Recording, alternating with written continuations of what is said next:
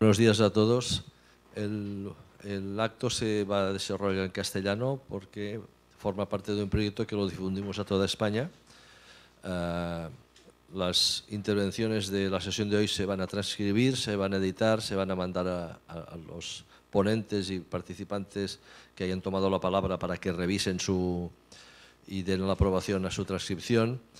Ah, Bien, yo en primer lugar, bueno, como coordinador del Grupo de la SARC en Periodismo y e investigador principal, que este es el nombre técnico que se da del proyecto al que, al que pertenece esta sesión, pues agradezco en primer lugar a Francesc Salgado la tarea de coordinar ese workshop y sobre todo a los cuatro ponentes, eh, José Luis Martín, José, Hilario, José Fermín Vilchez y María uh, Iranzo, eh, que hayan aceptado participar. La mecánica es, en primer lugar, hablan los ponentes, en segundo lugar, hablan los investigadores del grupo y en, un turno final, si hubiera algún miembro del público que deseara, hacer algún comentario, también podría hacerlo.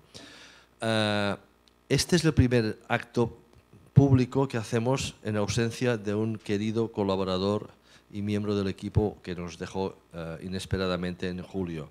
Por lo tanto, permítanme que eh, dedique unas palabras de homenaje a Josep María San Martí.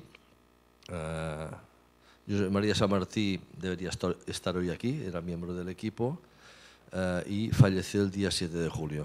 Mm, ayer hicimos la primera reunión sin él. Uh, él va a seguir estando muy presente en, nuestros trabajos porque tenemos cosas en marcha que él participó y artículos, incluso capítulos del libro.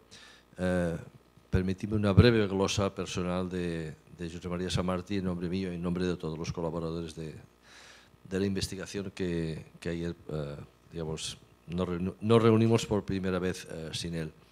Uh, José María Samartí era un, se jubiló recientemente como profesor de la Universidad Carlos III de Madrid. Anteriormente había sido profesor de la Universidad Europea de Madrid y en una primera vida profesional, la gente de mi generación tenemos varias vidas profesionales, pues un poco como yo mismo, en una primera vida profesional fue periodista. Él vivió siempre en Madrid, eh, a pesar de que era nacido en, Cataluña, y fue corresponsal durante 20 años del diario Avui, eh, desde su fundación. Y por lo tanto, eh, durante la transición, que es el objeto de, de nuestros proyectos de investigación, y este ya es el tercero, y, y quizá cierre el ciclo, quizá no, esto ya se verá, pues durante la transición él tuvo un papel importante porque fue el cronista de la transición eh, de Avui, que en aquel momento, a diferencia de lo que sucedió más tarde, era un diario bastante unitario y en el que todo el catalanismo de, todos los partidos se sentía representado. Y eh, él fue el cronista, eh, además, en catalán de la transición, de la, pura transición 76-78. Después ya, y más tarde del 78. Después ya salieron otros medios en catalán, pero José María Samartí, eh, bueno, eh, es una, eh, fue una figura muy respetada, muy apreciada, un hombre muy ecuánime, un periodista de raza, como se suele decir en estos casos, y posteriormente, no yo fui subdirector de APUI entre el 80 y el 82, por lo tanto le conocí allí, compartí con él muchas horas, por ejemplo el 23F, que él estaba dentro y nosotros temíamos por él, aparte de temer por otras cosas. Eh, también importantes. ¿no? Eh, mucho más tarde nos reencontramos cuando el periodismo le dejó, a muchos nos dejó el periodismo, y encontramos un refugio muy interesante de la universidad. Nos reencontramos, él estaba en la Universidad Europea de Madrid, como digo, más tarde estuvo en la Carlos III, y se incorporó digamos, este es el tercer proyecto nuestro sobre el papel del periodismo en la transición. El primero fue sobre corresponsales extranjeros, la mirada de los, de los corresponsales extranjeros. El segundo fue el papel de la prensa diaria y este es el, papel de la prensa no diaria. Pues bien, José María se incorporó en el segundo y e hizo aportaciones muy importantes, algunas de ellas eh, con Pepe Rech, una de ellas la, y Lucía García la presentamos ya en ausencia suya en el Congreso de Oporto del del pasado mes de septiembre de la Asociación de Historiadores de la Comunicación. Y eh, bueno, vamos a estar eh, evocándolo además cada vez que presentemos algún trabajo, eh, em, artículo, capítulo de libro en el que haya participado. por lo tanto, mm, nuestro aprecio, nuestro dolor, nuestra solidaridad con la familia. He tenido ocasión de, comunicarme con su esposa, Manuela Martínez. También me ha escrito su hija, Clara San Martí.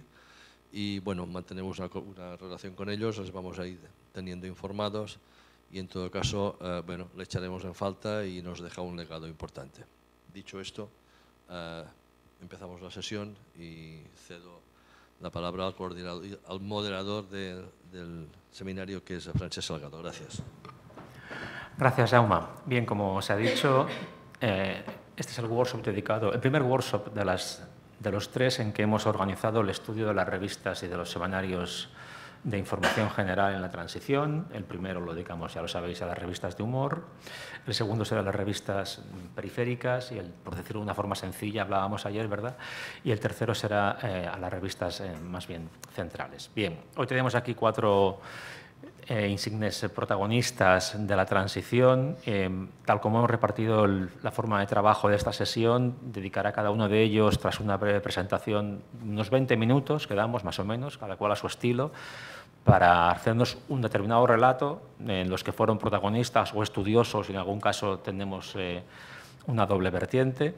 De esos 20 minutos, más o menos, de explicación personal, luego lo cerramos con un pequeño debate dentro de la mesa, por decirlo así, cruzado entre ellos, se pudo azuzar o no, ya veremos, según vaya la cosa.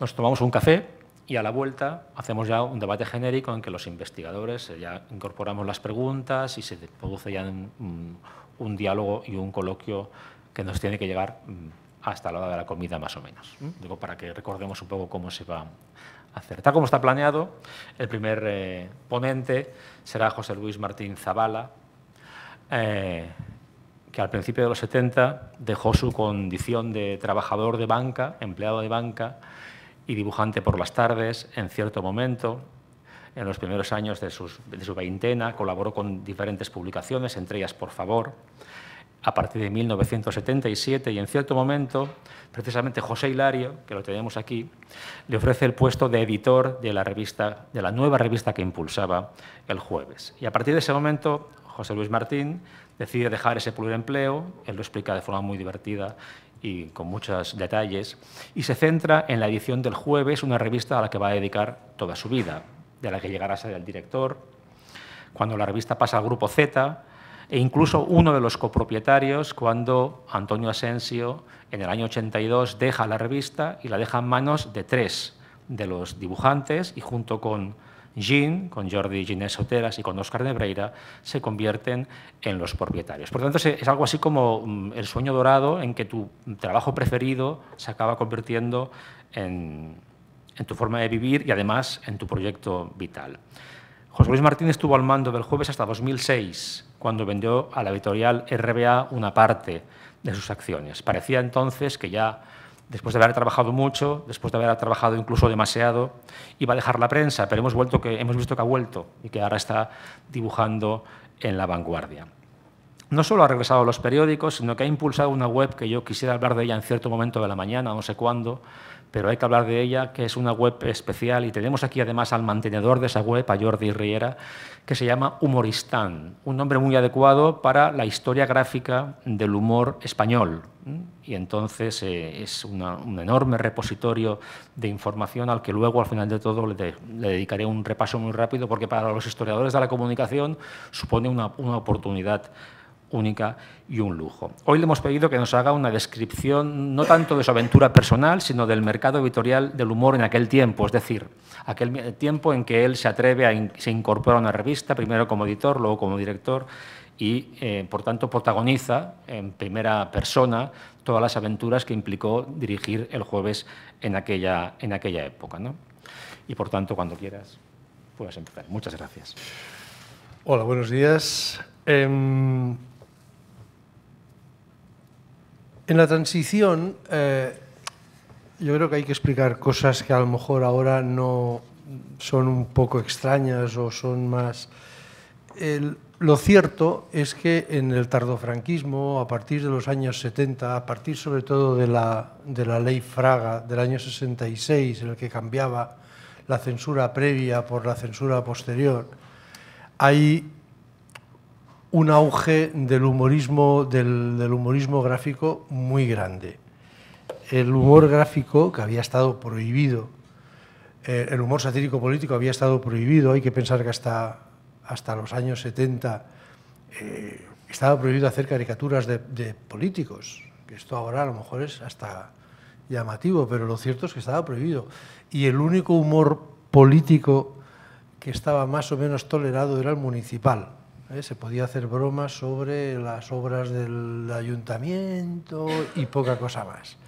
Pero ahí debajo estaba huyendo una generación absolutamente genial, y seguramente genial por lo que había tenido de constreñida. O sea, yo siempre pienso que un Ibá o un Peric o, un Oscar Nebreda o un Ja o un Chumi Chúmez es, una, es un grupo de gente de una extraordinaria inteligencia que habían estado absolutamente constreñidos en el colegio, con una educación muy represiva, con todas las normas de aquella, de aquella sociedad gris del franquismo, y esta gente explosiona a principios de los 70. ¿Y por qué explosiona? Explosiona porque el humor gráfico es la primera grieta que se abre en la dictadura. Y eso no es porque los humoristas gráficos sean más listos ni más, sino porque tienen un arma que es mucho más interesante, mucho más sutil eh, que pueda ser, por ejemplo, el periodismo escrito. El, el humorista gráfico tiene el valor del doble sentido, de leer entre líneas. De hecho, en el tardofranquismo ocurren cosas tan divertidas como que los dibujantes dicen cosas y la gente entiende otras. ese leer entre líneas era peligrosísimo. O sea, había gente que entendía cosas que el dibujante para nada había querido decir. De hecho, hay toda un anecdotario en aquellos años lo común, lo normal, era ir todas las semanas a, a, declarar porque habían denuncias puestas y entonces te dabas cuenta que en realidad los fiscales te estaban denunciando pero entendían la mitad de la mitad de lo que habías hecho. ¿eh? No, no, al final el, el, el humor tiene un punto de metafórico, tiene un punto de incluso de inteligencia que los fiscales no acababan de captar mucho. Hay algunas anécdotas maravillosas. A mí me contó una Enrique Ventura del, del, del Papus. Eh, habían hecho una historieta que era además una historieta surrealista, era de absurdo, no tenía nada de política. Y era, eh, hay el típico chiste este del, del, coche que pasa por la carretera y chafa el erizo, pues era un erizo muy grande que al pasar la carretera chafaba un coche nada, puro surrealismo, Made, Inventura y Nieto. Pero eh, se ve que en, la Administración de Justicia se equivocaron de páginas y a juicio fue esa historieta. Claro, el, fiscal no entendía absolutamente nada y seguro que estuvo intentando dilucidar qué es lo que había de subversivo en aquella historia y, Enrique siempre lo cuenta con mucha gracia porque es que realmente el pobre sudó Tenía la suerte de que el juez estaba dormido, lo cual esto siempre ayuda, digamos, ¿no? Pero lo, cierto es que el fiscal intentaba argumentar qué tenía de aquello de subversivo. Bueno, eso solo se podía dar porque en realidad ellos estaban muy inseguros respecto al humor gráfico de cuándo el humorista gráfico estaba o no estaba infringiendo la ley. El hecho de que el, humor gráfico se atreviera antes que nadie fue por este motivo. Y en realidad la sátira comienza con una revista que no es estrictamente política y que hace este buen señor que tengo a mi lado y que fue mi editor durante muchos años, que es Barrabás. Y yo reivindico Barrabás como la primera revista satírica del posfranquismo. Digo, hombre, no, pero es que era deportiva. No, no, no, no. Entonces, criticar a Pablo Porta criticar a Santiago Bernabéu era una manera indirecta de criticar al régimen, porque el régimen había nombrado a Pablo Porta jefe de todo el máximo de los deportes y el señor Bernabéu no era presidente del Real Madrid porque sí. Así que incluso digamos que el humor gráfico fue tan sutil como para atacar tangencialmente. No empezó haciendo política estrictamente, sino que empezó atacando la parte, la parte deportiva, que era política. Eh, esto envalentonó a nuestros irresponsables dibujantes del Papus, y, o sea, irresponsables del Barrabás, quiero decir, y fundaron el Papus. Eh, yo sigo diciendo que el Papus publicó cosas que no se podían publicar y la única explicación que hay es que realmente no las acabaran de entender, porque la brutalidad de los chistes del Papus en, con, el, dictador todavía vivo y además con todas las inseguridades y los miedos de que el régimen se acababa y no sabían cómo evolucionaría, eh, bueno, el resultado era que esta gente iban todas las semanas al juzgado y, sin embargo seguían haciendo la revista, lo cual supongo que fue lo que dio este prestigio al humor gráfico. Estamos en el año 73, estamos en el año 74 y el, el humor gráfico es percibido por la gente como por una parte como la vanguardia de la crítica y por otra parte como una cosa tan y tan necesaria porque durante 40 años no ha existido. Eso, que, eso hizo... Ah, perdón, y el humor gráfico no era lo mismo en revistas que en periódicos. En periódicos, eh, la dirección del periódico lo controlaba mucho más. Eh, es conocida la anécdota de Peric, por ejemplo. O sea, la vanguardia ficha Peric. ¿Por qué? Porque es muy prestigioso, ha hecho autopista, es un fenómeno de masas prácticamente y por lo tanto es prestigioso para el periódico eh, contratar a Peric. Pero Peric allí no puede publicar lo que quiera. Y entonces, eh, bueno, Peric explicaba que él iba cada día con tres, cuatro, cinco chistes y negociaba con el director. Porque, claro, como él llevaba eh, un poquito más así y un poquito más así, no quería que solo se publicaran de una, de una manera y entonces tenía, digamos, que guardar su reputación, con lo cual negociaba con el director de tal manera que se fueran haciendo los chistes sin perder la dignidad. Pero llevaba varios cada día. En el periódico no se podía publicar cualquier cosa. ¿Dónde se podía publicar? En las revistas.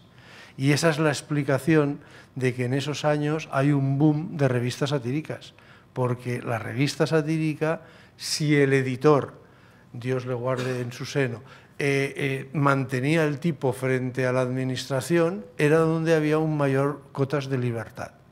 Y entonces, por eso es posible Barrabás, por eso es posible el Papus, por eso es posible Hermano Lobo, por eso es posible eh, el Por Favor y por eso es posible el Jueves, porque hay un editor que sabe que ahí hay una, hay una demanda social y que decide, bueno, pues jugar un poco a arriesgar realmente para, para cumplimentar esta demanda social.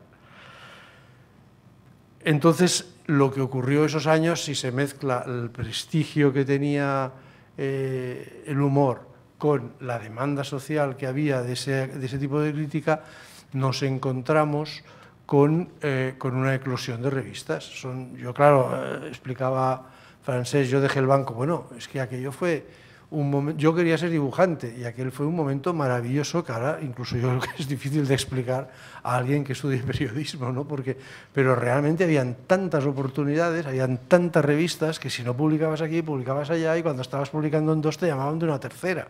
Era eh, maravilloso. Y eh, yo dejé el banco, como dice Francés, después de una conversación con un encantador de serpientes, que es el señor Hilario, que una tarde me llama a la redacción de Interview. Eh, yo, claro, él no se acordará, pero yo me acuerdo porque fue un momento muy importante de mi vida. Yo llego allí, eh, su despacho estaba ocupado y me dijo, oye, mira, tenemos que hablar andando por la redacción. Y bueno, nos pusimos a andar arriba y abajo en la vieja redacción de Conseil de Sen y, me ofrece publicar en el interview, en Bazar, en no sé. Yo volví a casa por la noche y le dije a mi mujer, oye, que mañana voy a dejar el banco. Tú estás tonto. Y no, no, es que el señor Hilario me ha explicado y, oye, no me puedo negar. Y efectivamente era, pero era realmente esta eclosión que había de un mundo de, de revistas nuevas. ¿no? Eh, en el papel que me mandó francés eh, decía que estabais interesados en saber qué, eh, digamos, las revistas de humor como, como agente político y cuáles eran nuestros contactos con los políticos. Yo creo que como en tantas otras cosas había dos tipos de revistas, las de Madrid y las de Barcelona. En las de Madrid eh, ocurrió en el tardofranquismo y luego incluso en la transición que había una relación, digamos, directa, había un contacto con el poder.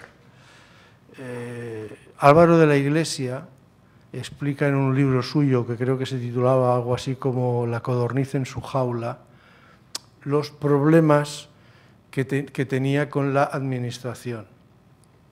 Pongo comillas porque en realidad, bueno, La codorniz era un poco la revista permitida y las, eh, los tirones de oreja Álvaro de la Iglesia era un poquito dentro de este ecosistema madrileño. O sea, le llamaba don Felipe de no sé qué, no sé cuántos, que era el director general, no sé qué, y le decía, hombre Álvaro, pero ¿cómo, cómo me estás metiendo en este lío? Ahí había roce, y donde hay roce siempre hay un poco de cariño. En la transición ocurrió una cosa parecida, pues claro, subió UCD al poder y mm, Forges conocía a Pepito y el otro conocía a Manolito, y ahí se hablaba de no sé qué cosas, de los dibujantes. Bueno, había contacto con los políticos. Incluso en el año 82, cuando Felipe González sube al poder, eh, instaura una cosa que se llamaba la bodeguilla. Y en la bodeguilla, supongo que debía ser algún sótano habilitado para el bebercio, allí en el Palacio de la Moncloa, y acudían eh, dibujantes tipo Peridis, el Forges, el, típico, el TIP, no, el COI, el COI creo que iba, el Máximo, bueno, y ahí charraban, hablaban con el, con el presidente del gobierno de jajaja, jijiji. Eh, en Barcelona yo creo que teníamos un punto más distante. Eh, desde luego en el jueves teníamos claro que a los políticos es mejor ni conocerlos, no fuera sé que te caigan bien. Quiero decir, éramos teníamos un puntito más ácrata a ese respecto. Y de hecho el jueves, y esta sí que es mi experiencia, eh, nunca tuvo contacto con político a no ser que fuera a través de la ironía. Quiero decir, cuando hubo la bodeguilla, nosotros escribimos una carta a Felipe González muy indignados porque no nos invitaba y prometiéndole en un postdata que no nos llevaríamos la cubertería de plata a pesar de ser de Barcelona. Carta que fue contestada muy divertida por un señor que entonces era su jefe de comunicación y tal. Bien, hasta ahí llegó nuestro punto. Con...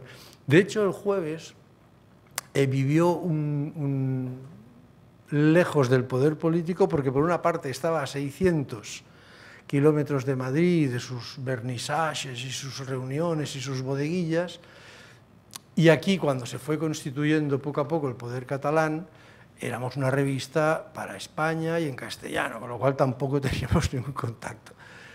De hecho, los contactos que tuvo el jueves a lo largo de su vida fueron contadísimos. Yo recuerdo una relación con el ministro Rubalcaba, o sea que estoy hablando hace muy poco, por un tema yihadista, de que el jueves estaba en ciertas listas y se me, se me informó desde el Ministerio del Interior que hiciéramos esto y lo otro. Bien.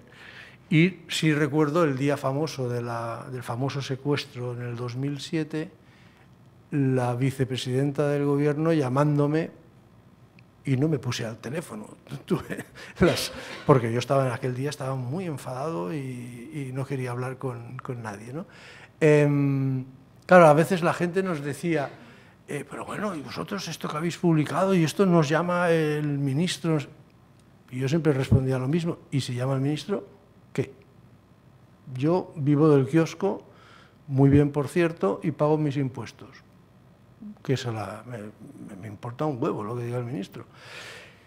Y eso, eh, conforme ha ido pasando el tiempo, nos fuimos dando cuenta de que era un lujo eh, absolutamente envidiable, pero la verdad es que esa fue la experiencia del jueves, esa fue la experiencia del Papus. Yo creo que, por favor, tenía algún condicionante más en el sentido de que tenía miembros de partidos eh, en la clandestinidad y eso la, la hacía más, tenía unas connotaciones políticas más, más en concreto, ¿no? decir, porque Manolo era del partido, era del Comité Central del Partido Comunista. Bueno, supongo que ahí algún, pero bueno, entonces el Partido Comunista estaba en la clandestinidad, pero debían estar negociando no sé qué cosas. Pero por lo que yo sé, por ejemplo, el Papus eran unos locos de la vida y el contacto con la con los políticos en concreto no, no, no existió jamás. Em, Respecto al jueves, eh, nosotros no tuvimos nunca conciencia, ni intención, ni ganas de tener ninguna influencia política. Nosotros eh, nos enseñó nuestro primer editor que había que hacer humor sobre la vida. Yo creo que el jueves sobrevivió a la transición porque todas las revistas de la transición eran sobre política, cosa que nos parecía magnífico, pero justamente porque ya estaban todas las revistas haciendo política, a nosotros nos pareció desde el primer momento que había que hacer humor sobre la vida, y la vida es política, pero también es religión y es eh, relación de pareja y es que llega una cosa que se llama eh, fax a las oficinas. Y el jueves hizo humor de todo eso. Siempre tuvimos a gala de no tener ningún contacto con nadie que no fuera nuestros lectores. Eso fue para nosotros, fue, hablo en pasado porque yo ya no estoy en los jueves, creo que deben seguir con esta filosofía. Eh, lo único que nos importaba en la vida era el lector. Pero lo único es lo único. La el resto me parecía algo, eh, la política, el no sé qué, no sé cuánto, nos importaba un pimiento. Y, y, eso nos permitió algo que ahora cada vez es más difícil de encontrar, que fue una independencia total. Yo siempre he dicho que en el jueves nos equivocábamos solitos. Nunca hicimos nada por influencia o por miedo o por, por presión o por como se quiera llamarle. Y creo que en general eh, fue bastante la filosofía de las revistas de, de, la transición. Quiero decir, incluso las de Madrid, el hermano Lobo, ya te digo, aparte de esta pequeña relación personal que siempre conocías, al del ministerio del no sé qué y al del no sé cuántos, en general el humorista gráfico tiene tendencia a reivindicar esa independencia e incluso en los periódicos que he dicho antes que están más condicionados suelen ser, suelen ser eh, la parte más libre del periódico. Yo he visto muchos chistes, qué sé yo, en el mundo justamente en contra de la línea editorial del mundo. Eso no es... Eh, eso es habitual, es normal. Eh, bueno, se supone que el humorista gráfico no deja de ser un opinador y como opinador puede opinar lo que crea. Y, bueno, y no tengo nada más que decir. Eh, luego, si acaso, cuando sigamos con, con la discusión, ya hablaremos. Muy bien, muchas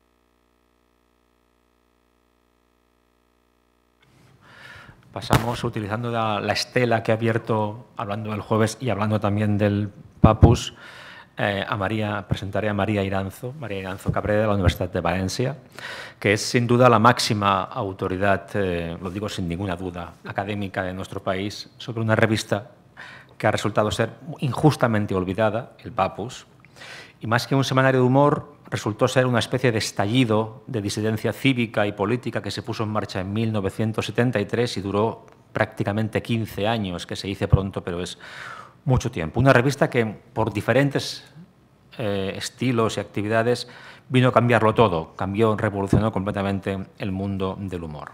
María Iranzo dedicó su tesis por completo al Papus, la defendió en el año 2014 en la Universidad de Valencia, no me trabaja, y obtuvo con ella, dos años más tarde, el primer premio internacional de investigación doctoral de la Asociación de Historiadores de la Comunicación. La tesis se titula La revista satírica El Papus contra poder comunicativo en la transición política española y está a punto, a punto de publicarse.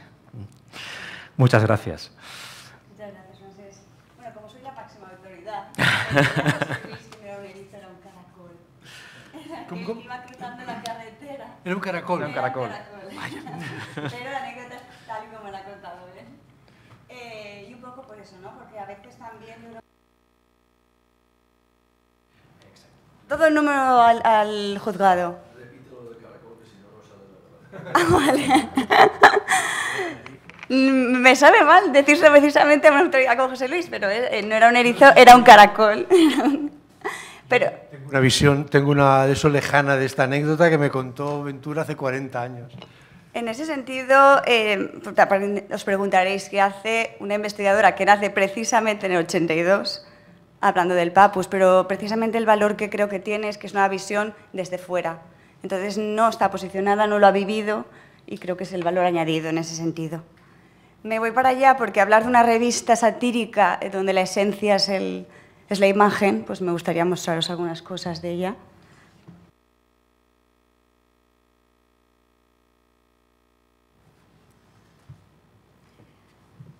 Bueno, ¿y por qué, por qué decido investigar sobre, sobre el papus?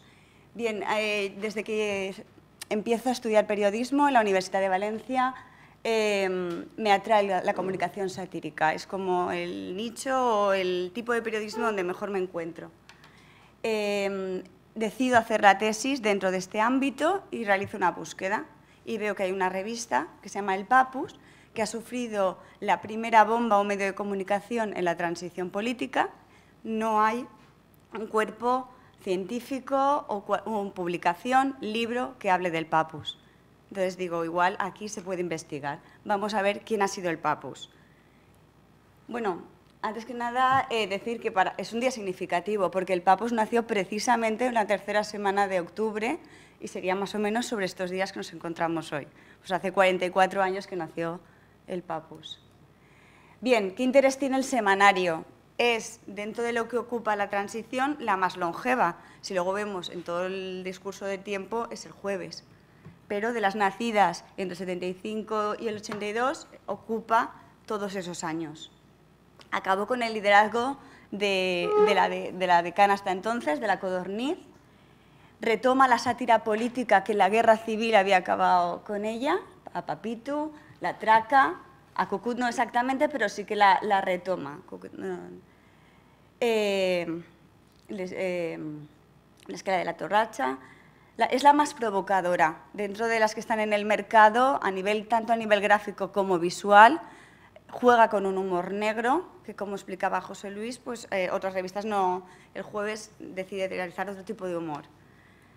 Eh, le provoca ser expedientada administrativamente desde prácticamente el, bueno, desde el número 7 y ese cúmulo de expedientes le llevará a sufrir dos suspensiones de cuatro meses, querellas fiscales, secuestros, dos consejos de guerra, en realidad fueron tres, pero cuando se iba a realizar el tercero ocurrió la bomba y no sé qué pasaría ahí, pero ya no se celebró ese consejo de guerra y esas amenazas de la ultraderecha que, acabaron con esa bomba el 20 de septiembre del 77. Y luego pensaba que analizar una revista satírica con tanto enriquecimiento a nivel periodístico, por un lado, habría un campo de investigación, porque parece que el periodismo satírico es el hermano pequeño, y además también puede dar ideas a nuevos productos. Este estudio se, se enmarcaba dentro del proyecto de investigación que teníamos en la, Universidad de Valencia, el humor frente al poder, la monarquía, el ejército y la iglesia. Se centraba en cómo se trataban esos tres pilares antes de la guerra y después en la transición. Y lo que realicé es una perspectiva histórica de todo el periplo de la revista, la analicé cualitativa y cuantitativamente. ¿Y cómo se hace eso? Bien, lo, que trataba de estudiar es, primero, los, autores, el emisor, por suerte, están, vivos. O sea, me pueden contar todo cómo ha ido realizándose la revista. Los receptores también están vivos. Pude hacer un formulario y un centenar de ellos me lo contestaron no tiene la solvencia una revista que ha llegado a unas tiradas de 200.000 ejemplares, 100, pero bueno, sí que podía un poco tantear qué era lo que gustaba de esta revista. El contexto, había una bibliografía amplia de la transición política, un análisis de contenido de los mensajes y de los códigos y luego todas las revistas, la colección entera, se puede, se puede, se puede acceder a ella se puede acceder, yo accedí desde una base de datos digital y luego también desde la, Universidad de Premia, Premia de Mar. Ay, la universidad, no, perdonad, la biblioteca.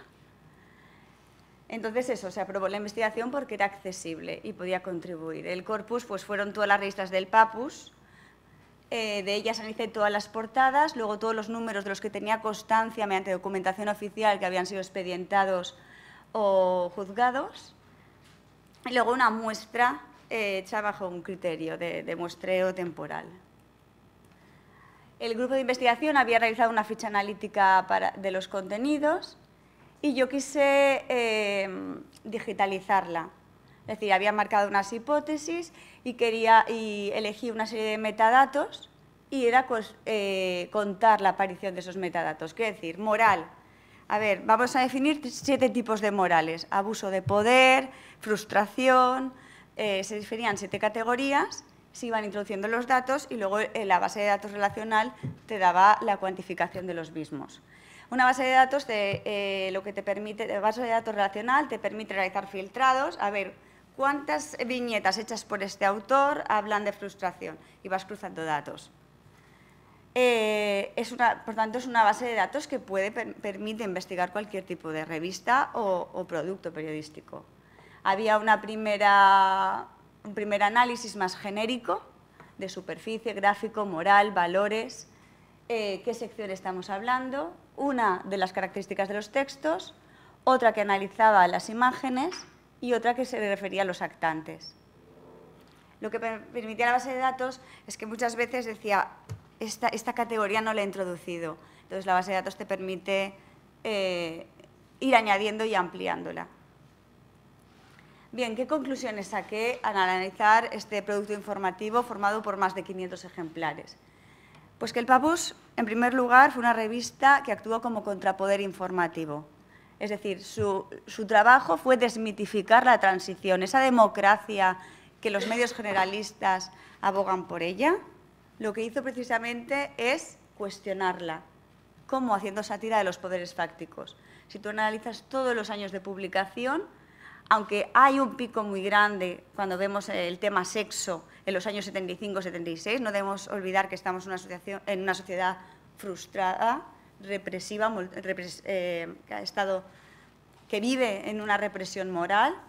El gobierno, el y el Estado son los temas que más se repiten en esta revista, seguidamente de la política y de la empresa. ¿Y qué hacen? Apuntan a estos eh, pilares y ¿qué, dicen de ellos? Denuncian sus malas praxis. Es decir, si nos fijamos en, las morales que acompañan a cada viñeta, destaca sin duda el abuso de poder y, en segundo lugar, la hipocresía. Es decir, eh, la hipocresía y la frustración. No olvidemos que, eh, pasados los primeros años de, transición, hay una sensación de desencanto y se refleja precisamente eh, en la revista. Un poco antes lo hablaba con José Luis, ¿no? un poco ese desencanto de lo que se había imaginado, de lo que podría hacer esa oposición que en dictadura había estado aguantando y realmente luego no cumple esas expectativas que tenía la sociedad. El abuso de poder se lo da siempre a los grandes pilares, la hipocresía en cuanto al tema de política y, y, y también a la propia sociedad. Ellos también, eh, dentro de la estructura que tiene la revista, tienen muy cuantificado, saben muy bien cómo maquetarla, cuáles son las secciones más leídas, por eso las van alternando para que sea una revista que se mueve mucho. Bueno, y eso lo podrá decir mejor el, maquetador, diseñador. Eh, y había una sección de, sociedad, que son esos personajes populares, esas mujeres, de, sobre todo estereotipos de la farándula, del folclore, eh, y toda esa hipocresía que tienen en sus declaraciones. Y la frustración la genera sobre todo el Estado y el sexo por la represión. En cambio, ¿en, qué viñetas los vemos que son favorables? En, en viñetas y en textos que hablan de rebeldía, que hablan de liberación. Los recursos más utilizados son sobre todo ironía y parodia. Es decir, eh, cuando no se puede decir las cosas directamente, se utiliza la ironía y también un fuerte de ellos fue la parodia y la exageración, ¿vale? el doblarlo exactamente. El único límite, aunque sí que es verdad que a partir de los 80 el rey va perdiendo ese misticismo del cual no se puede hablar, es la monarquía española, que durante toda la transición apenas se habla de ese rey Juan Carlos. De hecho, en, el 23F y va a crear para mí una de las historietas más reseñables del Papus, cuenta el 23F como si fuera la selva y el rey es Tarzán. Y vienen los elefantes, que son los tanques. Eh, entonces, un ejemplo es, piden para un periodista siete años de cárcel. Pues yo pensaba que en un país democrático se podía escribir sobre el rey. Hombre, claro, pero solo para hacerle la pelota como umbral. Y si no se puede hablar de él, pues nos inventaremos una manera de hacerlo. Entonces, el rey se cae esquiando en Suiza. Bueno, no vemos al rey, pero vemos esa bola entre la que se plantan los guardias civiles. ¿qué ideología tiene el Papus? A ver, mm, si tengo que decir algo, personalmente diría que es un medio libertario, porque ellos sí que están en contra de esta manera de llevar el sistema, pero tampoco ofrecen una alternativa. no considero que sean anarquistas, aunque el JA diga que él es anarquista, y va también una cosa... Políticamente, al único que puede estar posicionado fue Enrique Sopena, que estuvo en los 80 y conmigo nunca ha querido hablar del Papus o nunca me ha contestado a los requerimientos, pero el resto de dibujantes no se han posicionado políticamente hacia un partido político. De hecho, cuando ves los personajes reales más representados, siempre han ido a por el que tiene más fuerza en el gobierno, que sea Adolfo Suárez, ha sido eh, Leopoldo Calvo, bueno, porque fue menos tiempo, y Felipe González. O sea, Adolfo Suárez y Felipe González, contra los que van las críticas. Va contra quien está en el gobierno. Resumir tantos años en 20 minutos, voy a intentar hacerlo viendo un poco cómo son las portadas del Papus. El Papus eh, empieza siendo una revista costumbrista que habla de problemas de la sociedad, eh, de la delincuencia, de esos derechos de las mujeres, de esa nueva ola de feminismo que empieza a moverse, ante la cual ellos, ya, ya explicaré luego cuál es su posición. Pero llega un momento en que entra, hay una lucha ideológica dentro del Papus, que es o hacemos un canard en como quiere y o hacemos teta y culo como quieren Oscar y Jean. Y al final eh, lo eh, los, que, los que consiguen realizar la revista que quieren son Oscar y Jean que toman un poco el mando y va a coger uno de sus enfados y va, eh, tiene como tres momentos en el papus que se va y no sé por qué siempre vuelve a esa criatura que él mismo ha creado. Y ello provoca las dos suspensiones. En la segunda vuelta, eh, ha nacido una revista. En ese, tiempo de suspensión ha nacido Interview. Y yo creo que hizo una gran creación de José Hilario y que le hizo mucho daño al Papus. ¿Por qué? Porque eh, eh, está enseñando, está atendiendo a esa represión sexual, está ofreciendo un contenido novedoso. El Papus lo que hace es un, un Wyoming de ahora, o sea, es una reflexión de noticias que ya saben las noticias, ahora vamos a reflexionar sobre ellas. Y ese fuerte de interview, además interview también poco a poco va introduciendo también los chistes, la, parte humorística. Entonces ese fue un pilar que hace que la revista poco a poco pues vaya, vaya perdiendo fuelle. Ellos intentan luchar porque José Hilario explicaba, según leía yo, que en Europa lo que se hacía es, bueno, vamos a dar una portada más suave y ya dentro ponemos lo fuerte. Y creo que el Papus, y el Papus iba un poco a la contra. Un poco la manera de hacerle esa lucha en el kiosco es, no, no, vamos a enseñar, son las, las portadas de arriba, que dura muy poco ese tiempo de, prácticamente desnudos en la portada, hasta que ya reciben la alerta de si continuáis así, esto se acaba.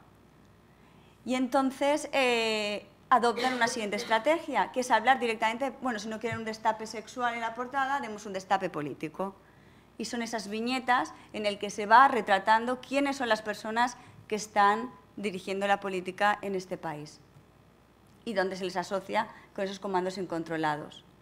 En ese momento se publican a finales del 76 dos portadas que también marcan otro hito en la, en la historia del Papus. Es una portada en la que se está criticando la corrupción del ejército y una portada en la que se está atacando o sea, está a, lo más sensible de, la dictadura, ¿no? de esa, muerte del dictador, esa primera marcha azul.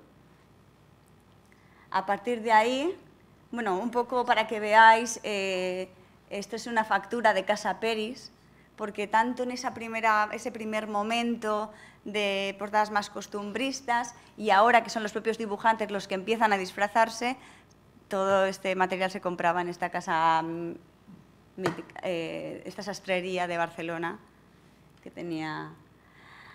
Y eso va generando un malestar eh, dentro de, la ultraderecha que mm, considero tuvo cierto apoyo del, del gobierno. Ellos querían darle un susto a esta revista que está atacando al propio gobierno y dicen sí, pero se fue de las manos. Se fue de las manos y fue el primer atentado bomba a un medio de comunicación a la transición política que revive el, el Prensa en Lluita del Sindicat de, de Treballadors de la Prensa de Barcelona, que consigue que todos los medios de comunicación de Barcelona publiquen la misma editorial, con reticencias, pero al final todos la publican, y que incluso al día siguiente en Madrid, o sea, esto se genera una huelga de prensa en Barcelona y al día siguiente una huelga de prensa en Madrid, es decir, nos, nos baladí. Al Alcázar no se sumó, pero al final prácticamente todos los del taller eh, se sumaron y, tuvo que dejarlo. Pero había medios que, no se hubieran sumado. Pongo esta historieta, esta sección de dossier, porque siempre se ha hablado del Papus como esa revista feísta y considero que tuvo dibujantes como Ventura, como Usero, como... Mm, el, el, que está en Madrid, Carlos, Carlos Jiménez, que decir, es una revista que también el dibujo lo cultivó mucho. Nos quedamos siempre con esos dibujos del JA, de IBA, de, del AVI, pero que también retrata de manera muy realista lo que está ocurriendo en el país. De manera tan realista como estas, que muchas de las portadas, un poco lo que me sorprendía, es que era, pero si esto es lo que está pasando ahora, o la vida es cíclica, o estos han tenido una visión eh, futurista, ¿vale? El, y un poco los que asumen el mando después de la bomba, la bomba produce una, una fractura en la revista, que es cuando Oscar y Jean se van, se van al jueves y, y toma, y toma la, los mandos de la revista el, el underground. El underground iba y, y esta nueva corte, que son un poco pues, los, los más radicales. ¿vale? Un poco lo que me contaba Lluís Recasens es, bueno, si yo bajo el nivel por el miedo, no me comprarán y al final, eh, pues vamos a por todas. Esa fue su, su aptitud. Es otro momento de la revista, eso porque iba contando un poco los diferentes estilos de portadas. Hasta entramos ahora, a partir del 78, en un momento en el que el gráfico, eh, las, las viñetas van adquiriendo protagonismo en las portadas. Y un poco esta es la que os contaba, ¿no? La portada del 23F y esa, esa historia no, eh, estaba la de Tarzán, y otra que también muy buena es Ichoni cogió su fusil, ¿vale? que es un, un, guardia civil que se viene del País Vasco, se viene a Madrid y le pilla esto. Y dice, bueno, yo me voy para allá arriba porque... ¿Y no se de que el golpe Eso es eso, con todo el desconocimiento, él está participando en el golpe y no se... Y luego explica, dice, joder, decía mucho el País Vasco, pues en Madrid hay un follón que no veas. Eso es, es esa visión también de... Y luego, eh, como un poco esta este investigación se está haciendo hasta el 82, pues me gustaría destacar estas dos portadas, ese atrevimiento de que fueron también eh, juzgadas, y estamos ahí ya con UCD. Y, y, en teoría, ya con la ley del 70, en el 77, en el, disculpad, en el 81, 82, y también fueron, fueron juzgadas. ¿vale? España ya es roja, con perdón, fue una de las portadas más juzgadas de, de Luis Rey. Lo único que le tiro en cara dentro de ese libertario que era el, Papus es el machismo, eh, porque si bien defiende a veces a la mujer en, algunas actitudes, la utiliza como estereotipo en todos sus chistes. O sea, es lo fácil, es... A ver, yo también me río con ellos porque, no sé, también me sé... sé el Papus en una sociedad políticamente correcta no podría publicarse, como, o sea, no se puede hablar de los, enfermos, de la mujer, de los negros, de los homosexuales. Eh, no se puede hacer el papus, precisamente por ese humor negro. No, en ese sentido, acuerda, bueno, lo voy a citar la papu novela, que es absolutamente machista y que está pensado en la mujer que lee las fotonovelas y tal, que es uno de los, sobre todo en la primera etapa, eh, uno de los, son las páginas centrales y... Lo que, sí, sí, lo que más éxito tiene, lo que más se lee es la papu novela en primer lugar. O sea, la gente lo primero que supongo que haría es... Un machismo total y el tener, bueno... Pero bueno, también he de decir ¿Se puede, que ¿se puede eh, defender al Papus? se puede, se No, puede, se no. puede. O sea, eso que dices es absolutamente cierto. El Papus era machista. La cuestión es que los chistes que se publicaban hace 40 años ahora son impublicables y son políticamente... Claro, pero se ve perfectamente dentro de esa redacción quiénes eran machistas. Claro, eh, pero es Pero es igual. que el lector era machista, entonces, claro, estás... estás Pero sí, y no solamente era machista, es que si tú miras los chistes de homosexuales, te caerás al suelo. Y si miras los chistes de muchas cosas, te caerás.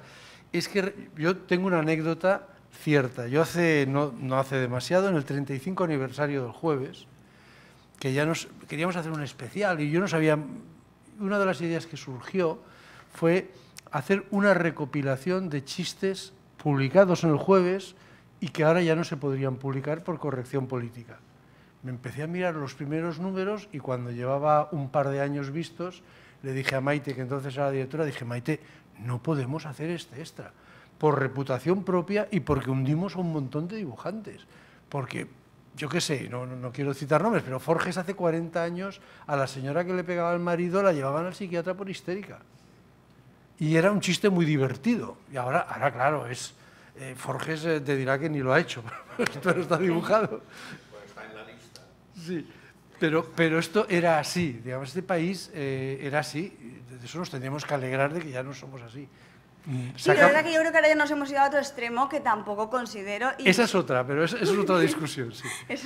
Acabo mi turno de defensa. Y un poco eso, ¿no? Se cuestiona la posición libertaria del tratar a la mujer y a grupos sociales, pues como más. eh, o sea, y al retratando a los enfermos de talidomida, mm, vamos. Y en- entonces eso, cuando ves los- un poco los estereotipos más utilizados, la mujer provocativa, se, hay, dos, hay dos tipos de mujeres, o la mujer provocativa o, la, o, o tu esposa que te amarga. O sea, tienes un- esos dos y un poco eso, la, la- la belleza. Esto es, de, de esto ya, ya lo hablaré en otro, otro- Bien, y un poco por lo que hablaba de eso, que hay un pico de destape sexual, pero el resto de temas que más... O sea, para mí fue una revista que destapó mucho de sexual y también de manera política. Eh, lo que me ha traído también de la manera de... es- o sea, vemos que son los dibujantes y parece que los dibujantes pues solo saben de dibujar, pero el bagaje cultural que hay detrás de cada uno de los autores de, de la revista El Papus, a mí personalmente me ha sorprendido la riqueza eh, de lectura, de, bueno, el cine, son, dos, son cuatro páginas de la revista a nivel de crítica, eh, cinematográfica espectacular. O sea, es decir, son personas y precisamente ese bagaje es lo que a veces te permite jugar y le estás hablando a un lector utilizando un paralelismo con una película, con un libro y a eso creo yo que los censores muchos no llegaban. Eh, utilizan el lenguaje en el sentido de ripios y refranes, son maestros. O sea, yo he descubierto refranes con, con el papus. Luego también es una cosa contradictoria porque tienes un bagaje cultural muy amplio y todo este tipo de estrategias, pero luego son capaces de utilizar el lenguaje más de la calle y mezclar las dos cosas a la vez. Entonces hace que le gustes a gente de dos, mm, dos rangos sociales diferentes. Esto es una de las mm, viñetas que muestran un poco la riqueza diva de cómo te está contando un poema y, y y te lo cuenta un grafitero de la calle. un poco, esto es demasiado ya análisis, y un, poco lo que me sorprende también de las expedientes y querellas es que ellos estaban obsesionados, tanto desde el punto de vista administrativo como los jueces, es por todo aquello que retratara esa represión moral, ¿no? El artículo 2 de la ley de prensa, y realmente no señalaron con el dedo las mejores viñetas, entre comillas, o más críticas. No sé si eso también está hecho un poco a propósito, porque si yo no te señalo, cuando señalo es cuando todos se fijan en ti. Entonces, a veces, no sé si no les, les interesaba algunas viñetas muy gordas eh, denunciarlas. Eso igual lo podéis contar más vosotros. Yo es que creo que era muy aleatorio. Había un fiscal de prensa y este señor se dedicaba a ver todo lo que se publicaba y ver qué es lo que había querellable en esas publicaciones. Yo creo que hay semanas que no daba abasto y no miraba al papus y esa semana no había ninguna demanda. Y a lo mejor esa demanda, esa semana coincidía con que había una, una cosa muy demandable. Pero yo siempre tuve la sensación de que era muy azaroso, de que ese hombre trabajaba más o menos y según lo que trabajaba y según lo que leía encontraba más motivos de querella. Porque yo tengo el caso particular, yo tengo eh, juicios por un personaje que hacía, que era Dios, y, y no eran ni las historietas más fuertes, ni las más ofensivas, ni muchísimo menos. Y después de ir a un juicio de lo criminal y que me condenaran, eh, yo seguía publicando todas las semanas la historieta y no pasaba nada. O sea, era una situación muy, muy azarosa. Pues a veces eh, sorprende. Bueno, y mm, os incluí aquí un poco por mostrar todo ese trabajo de archivo que también he realizado sobre el Papus y que creo que es una riqueza que debe salir, que es un poco lo que contaba francés, que es lo que pretendo en el libro. Y es como eh, en los primeros números, después de haber ya recibido los primeros pliegos de cargos por los números 7 y 8, ya Quiroga, les, eh, el abogado, les dice, mirar, la estrategia va a ser ir expedientándos y ya en el momento que consideren, mmm, suspensión. O sea, eran un poco las dos estrategias que siguieron, que igual expedientaban de esa manera azarosa, pero ya tengo esto aquí y cuando me interese te suspendo. Bien, la valoración periodística que hago de esta revista para, ultimar, eh, para acabar es, en primer lugar, la originalidad en el diseño. Eh, son piezas combinadas y con un mensaje, su mala baba. Si algo le distingue al papus es, es la mala baba. Y esa situación que estaba retratando José Luis, de esa represión, igual la hemos entendido porque ahora mismo hemos vivido otra, que es lo que también ha dado lugar a algún otro tipo de, productos satíricos. ¿no? Eh, son, este tipo de revistas nacen con, cuando está todo tranquilo y estable, no tienen la fuerza de una situación de injusticia. Es una revista de reflexión sobre hechos que prácticamente to, todos los lectores son personas que se, que se, informan diariamente. Ha servido la verdad en camisa eh, con diferentes estrategias comunicativas. El, PAP, el IBAP, eh, disculpad, Jordi Amorós, pues eh, crea una historieta y en vez de enumerarla con números cronológicos, pone sílabas. Y si tú unes las sílabas... Ese es el tema de... Es el inicio de la suspensión. De los mensajes... Frases que, que, entre otras cosas, le llevaba cabrón al censor y entonces se cabrearon, se dieron cuenta. Una, Eh. una, y ahora, eh, aunque no me toca ni hablar, de las anécdotas que yo tengo cuando llego al Papu a compaginar, porque Charlie, lo primero que me dice Charlie, yo estuve en el Papu precisamente desde enero del 75 hasta la suspensión. En junio del 18 de junio, que fue cuando puse de ministro, dije, cuatro meses suspendido. A mí me dijeron que podía seguir allí, no, lo que pasa es que me marché y dije, no, no, que te pagamos, seguimos aquí, estás jugando al dominó, jugando a, incluso al fútbol en un pasillo de la galleta. No, no, yo me marché. Pues precisamente una de las cosas que me dice Charlie, el director, dice, vigila al, a, al Jordi, al Ja, que es que nos mete cada flor y siempre había que estar que es, con la expediente y tal, porque de eso que acabas de decir, la sílaba, y a eso se trata, él simplemente ir a la colección, no, no lo hacía tampoco, había que buscarlo, estaba todo entre líneas, y ponerte con un crucigrama a buscar la barbaridad de que hacía. Sí, de hecho-. Que a veces tiene que ver con la propia historieta y a veces no. No, no, no, Él tiene obsesión por la toma de invierno, que... bueno,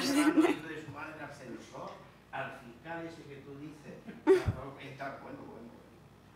Sí, eso es una de las estrategias. Luego Xavi, por ejemplo, tiene una mosca. Entonces, a quien tiene la sobremosca volando, eh, es lo peor de... Es la manera de, de- de ridiculizar a una, a una persona y, a- y así tantas. Eh, vituperada constantemente porque molestaba a los poderes fácticos. Cuando ya estaba caída la bomba, la, revive, porque claro, eh, realmente fue un revulsivo de la revista, pero ya con el jueves pues la, la lucha es semanal en el diario, en el, en el kiosco, hasta que finalmente no cobra la fuerza. Así que intentan recuperarla. Eh, por un lado, luego también la revista acaba muy mal porque entre los gestores y los dibujantes nace durante siete números el Pupas, los dibujantes crean el Pupas y, el, y Carlos Navarro trata de continuar el Papus pero con una redacción totalmente diferente. Duran unos meses y ya luego ya fueron recopilatorios de la revista, un poco en el sentido editorial de intentar seguir ganando. Una cosa, es que hay un papel en las revistas que no, no suele ser muy apreciado porque no es visible, pero es el, director artístico. Es decir, el Papus, eh, la dirección artística la llevaba Jean, que era una persona moderadísima, eh, no tenía nada, pero realmente era, el- que, el que mantenía los equilibrios. Cuando se va al jueves, eh, en realidad viene también Iba, vuelve Iba al cabo de dos meses, en diciembre del 77, vuelve al Papus, pero Iba, que es un maravilloso autor, es un pésimo director. Es un tipo que falta el respeto a los colaboradores, que les insulta, que no les gusta nada de lo que hacen, que les hace que un Carlos Jiménez, que era un peso pesado, le trae una historieta y dice, no, esto es una mierda, ver, pim, pim, pim, pim, pim, le hace un guion. Y en el humor hay una cosa muy curiosa, y es que un guion de Ibá, hecho por Ibá, es una genialidad, y un guion de Ibá dibujado el trazo del dibujo, el, el, el- bocata, la rotulación. Hay una serie de cosas que cuando se alteran no funciona. Y entonces lo que le pasa realmente al Papus, en mi opinión, es que perdió a Jean. Y sin Jean dejó de haber este arquitecto, como ha dicho Fermín, que, que- que moldeaba todo. Lo que pasa es que desde que Jean se va, del 78, no digo que no, que Jean todo el mundo me lo, me- me lo destaca como la- una figura clave, Absolutamente. pero claro, dura del 78 al 83, 84, o sea que, que son años. O sea que como bien dices, Iba era grande, grande de peso, grande de mal genio y grande de genialidad. O sea, era grande Era un en todo. Era un puto genio.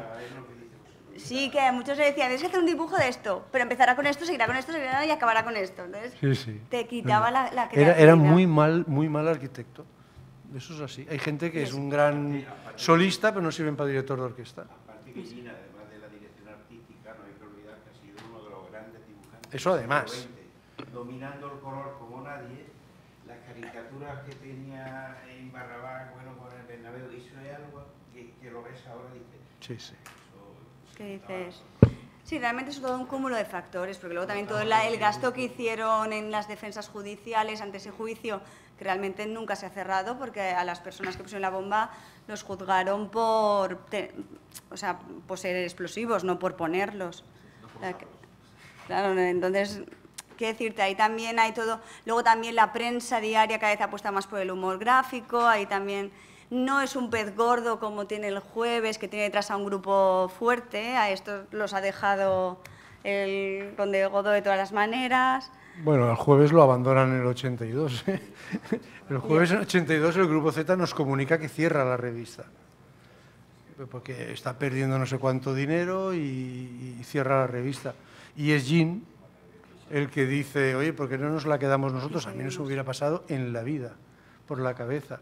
Y Jean tiene la idea y yo he visto de cerca este trabajo de, de modelación de equipo. O sea, Jean era, tenía una idea muy clara en la cabeza y es que una, una revista tenía que tener redacción, ahora parece en tiempos de, de ordenadores, es muy, pero es fundamental. O sea, el Papus funcionó muy bien cuando había redacción y cuando jugaban a fútbol en ese pasillo que decía Fermín y cuando jugaban a fútbol con los policías que venían a, a vigilar la redacción y este tipo de cosas y cuando se iban a tomar cubatas juntos y cuando comentaban la película esa que habían hecho la crítica. Y Sí. deja, y deja de, de funcionar cuando no existe este... Y este nexo de unión, el, el Jean, eh, era el que, el que lo hacía. Perdona, José Luis, acabas de dar en, en plena diana. Mi mejor etapa pro- profesional, a pe- a pesar de ser fuerte, yo estaba empezando el 75, la del Papa. Pero luego he tenido que sufrir el tema de la codorniz o del virus y tal. Una revista de humor, si no hay buen ambiente en la redacción, si no se lleva todo el mundo bien, si no juegan al póker, si el director, el, el el eh, diciendo que tenéis que cerrar, que tenéis que cerrar, que no llegamos y tal, y el último día, uy, 20 horas allí trabajando. Un ambiente extraordinario, todo a través de Jinko. Sí, sí, sí, y sí, la sí. revista funcionaba.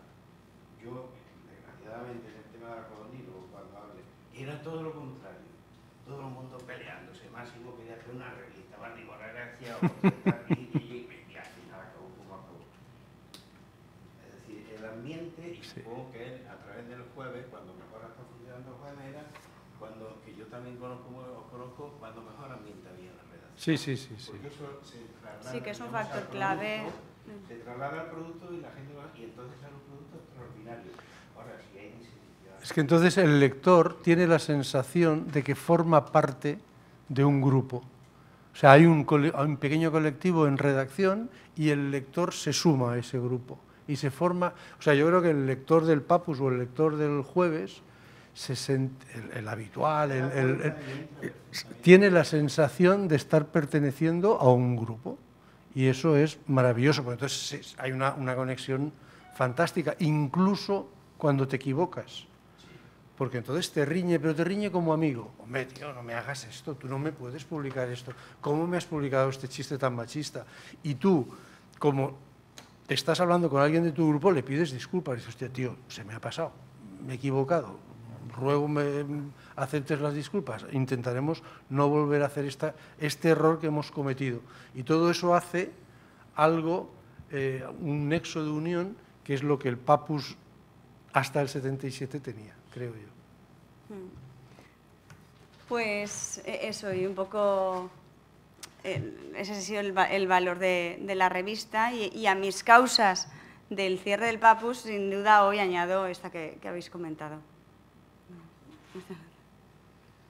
Muy bien, muchas gracias. Vamos entrando en calor, cosa que es muy agradable y los, el debate se cruza y se, me parece estupendo. Bueno, va a intervenir ahora José Hilario Font, que es una figura insigne de la historia de nuestro periodismo y en este caso no es ningún adorno. El, apelativo. He tenido el placer de entrevistarle dos veces y las dos veces mencionó una idea que siempre se me quedó en la cabeza y que yo creo que sintetiza con mucha fidelidad su pensamiento como promotor de prensa, editor de todo tipo de publicaciones, la lista sería interminable, a lo largo de 55 años. Y me lo dijo las dos veces. Dijo, mira, una idea editorial, por buena que sea, la mejor del mundo, solamente dura cinco años. Luego hay que dejarla. la vendes, te la sacas de encima y vas a buscar otra, porque lo que importa es buscar, no tanto encontrar. Y así ha sido la vida periodística de José Hilario, el hombre que ideó, se ha dicho aquí, Barrabás en 1972, luego intentó encontrar un pulgarcito para adultos con Por favor, año 74, después un semanario de información general diferente como Interview, año 76, y después año 77 el jueves. ¿no? Y otras muchas ideas editoriales que nos van más allá del espacio que, estudiamos. ¿no? Ideas editoriales que cristalizaron en publicaciones de gran influencia, muy innovadoras y que transformaron justamente lo que estudiamos, que es el mercado de la prensa no diaria. Con los diarios, con los periódicos, José Hilario no quiso, nunca entró, nunca estuvo cómodo. Cuando Antonio Asensio le pidió que ideara un periódico popular que renovara la manera de presentar la información a finales de los 70 y en Z empezaron a gestionar lo que sería el periódico de Cataluña, él se confesó incómodo, no quería hacerlo. Lo empezó a hacer, pero no quería hacerlo. Demasiado peso, demasiada gente, demasiado grande. José Hilario se formó como promotor de mercados nuevos en la editorial Burguera a finales de los años 60 vendiendo cromos y buscando nuevos públicos, nuevos mercados. Y esto es muy importante. Luego se llevó a la prensa esta visión renovadora de, las, de la difusión. No hay publicación posible si no consigues primero una audiencia nueva. O la encuentras o la creas. Lo intentó, he calculado, unas 100 veces a lo largo de su vida profesional, aunque la lista es muy discutible, se puede ampliar o recortar, con especial éxito en las revistas de humor, unas publicaciones que en la transición, como sabemos, resultaron, se habla justamente hoy de eso, completamente innovadoras y diferentes. Unas revistas que se hacían con cuatro duros, pero que exigían sobre todo talento y coraje. Y una redacción, que es lo que nos acaban de explicar. Muchas gracias por estar aquí, José.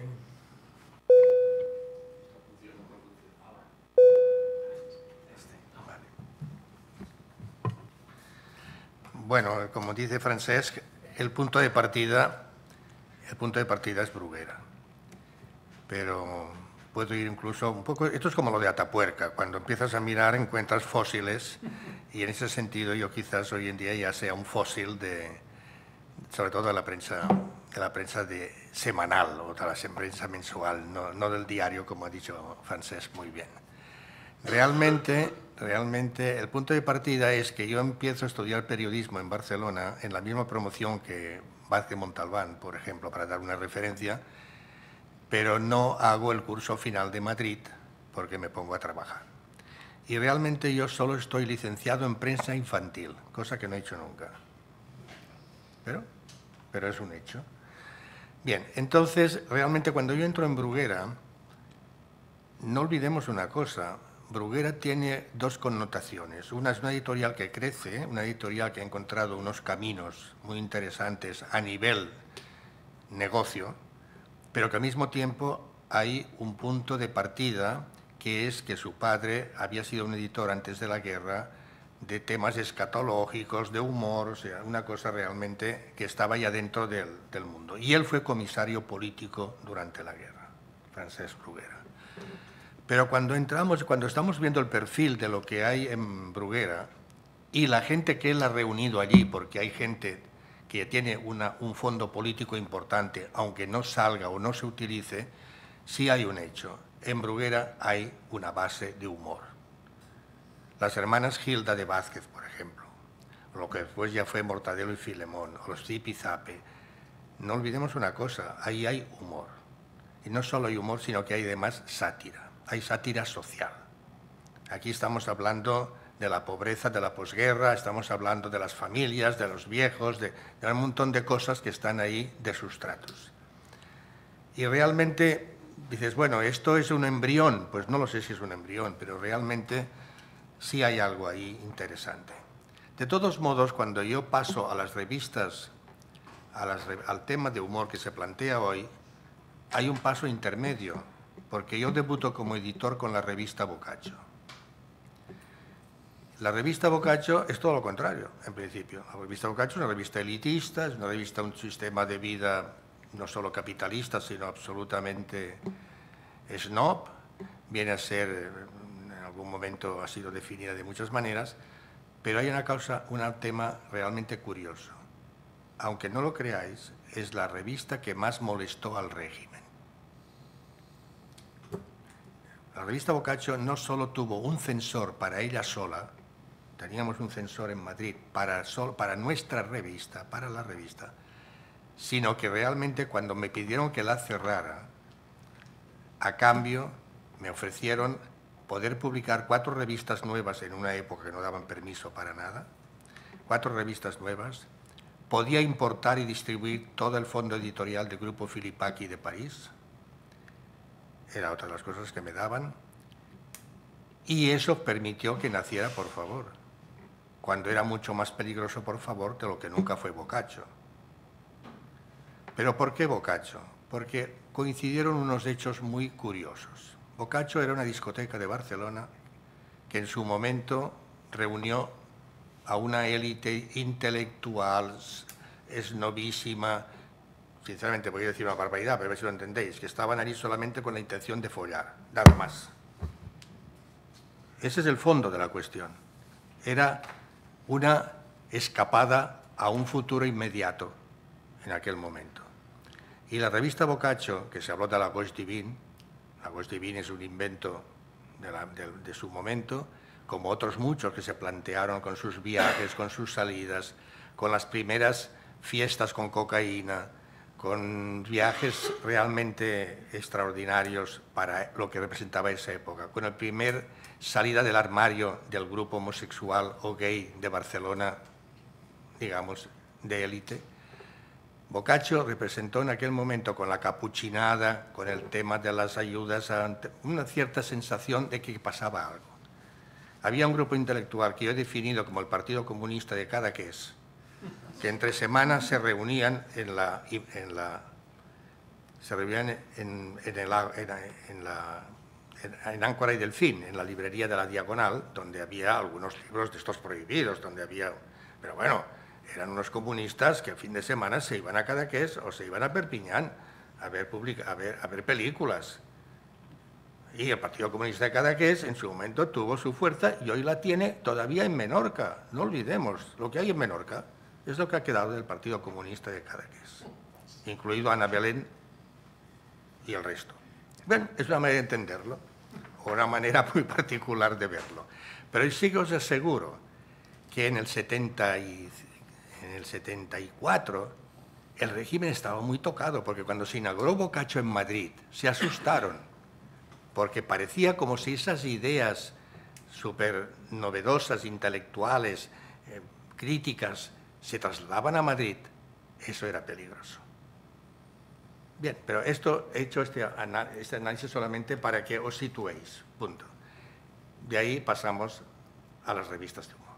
Pero realmente, claro, ¿cuándo es la primera revista de humor? La primera revista de humor nace cuando yo estoy haciendo Bocacho con Javier Godó. Y entonces yo le propongo hacer Barrabás. Porque Barrabás no la invento yo, me la viene a proponer Iba y Oscar. Me proponen una revista y digo, bueno, a mí me gusta la idea, esto puede funcionar. Puede funcionar. En aquel momento pues está bien. Entonces, claro, Hablo con Javier Godó, porque realmente en esos momentos todavía tenemos la dualidad de Carlos Godó padre y Javier Godó hijo, como ahora tenemos la de Javier Godó padre y Carlos Godó hijo. creo que era, ¿no? La empresa Elf Editores. Se hace una empresa Elf Editores era la empresa que tenía Boccaccio. y es la empresa que se plantea la idea de, de Barrabás. A mí me gusta la idea de Barrabás, se la propongo a Javier, Javier le da miedo de entrada, pero me dice, bueno, que hagamos unos números cero a ver qué pasa y hacemos cuatro números cero. Cuatro. Y en esos cuatro números cero, que no sale ninguno de ellos, que se paran a tiempo, por decirlo así, es cuando ya vemos lo que a veces habéis dicho de cómo era IVA. Se iba y venía. cada vez que se decían que no iba a salir, se iba, al día volvía. También.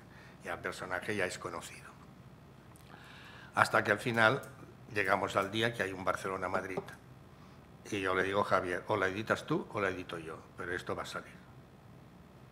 Y entonces Javier me dice, bueno, pues que salga, pero cuidado, estate tú el domingo por la noche, procura ver qué pasa, vigílalo, etcétera, etcétera. Y así empieza Barrabás. Posteriormente a mí me reconoce Javier que Barrabás, con Barrabás ganó más de 50 millones de pesetas de la época y se compró un Porsche. Yo no me pude comprar nada, que quede claro. Está comprobado que tuvo con OJD 200.000 ejemplares. Ha batido Barrabás, en la mejor época, que dura poco, 200.000 ejemplares por un JD y prácticamente sin publicidad. nada, cero. Era cupón, había un cupón. Nada, no, nada, nada, no había nada.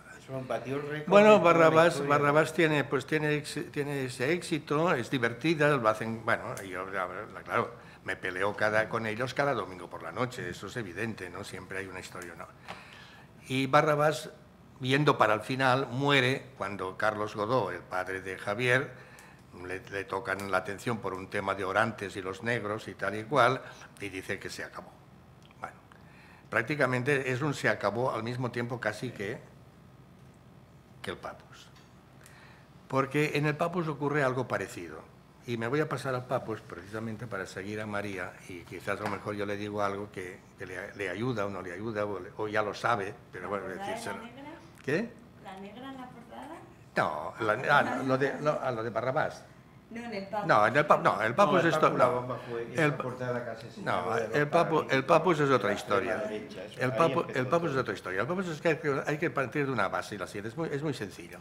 Yo tengo una visión, vosotros tenéis una visión como, como, como quizás como lectores, o en este caso como, como dibujantes, como escritores, como estudiosos del tema está está. Pero yo tengo un punto que vosotros no tenéis. Yo tengo una visión de editor propietario, que posteriormente José Luis Martín llega a, tener esa visión porque llega a ese punto, pero él llega, yo salgo. O sea, yo parto, es una diferencia importante, es partir de o llegar a. Bueno, pues este partir de significa que cuando se plantea Barrabás hemos de poner un director. ¿Y a quién vamos a poner el director? Entonces, bueno, pues tengo un amigo mío que se ha quedado sin dinero, que tiene un montón de hijos, que se ha quedado sin trabajo, que es casi familiar, Javier Echarri. No sirve para nada, pero lo vamos a poner de director. Dejemos las cosas claras, porque ese es el punto de partida. Y Javier Echarri encuentra dentro del grupo una persona que, le, que es Carlos Navarro, que este es un trepa dentro del sector, como los hay, normal, y que en el momento en que Carlos Godó le dice a su hijo que basta del papus, porque esto no puede ser, porque hasta ese, hasta ese momento, lo curioso del caso, con, en este aspecto, con Javier Godó y con la familia Godó, es divertido, porque a mí cuando Carlos Godó me defienda que la codorniz es lo máximo, y yo le digo, está muerta. Carlos Godó era el dueño de la codorniz, el padre. Y yo le digo, oye, está muerta. Y yo le digo, está muerta, esto se acabó. Y bueno, no me echó del despacho, por, bueno, porque no me echó, pero es igual, tampoco podía echarme, yo no tenía nada que ver con esto. Pero en realidad tenemos que, en un momento determinado, Javier está haciendo cosas al margen de su padre y mientras el padre no se fija o no tal y cual, se van haciendo.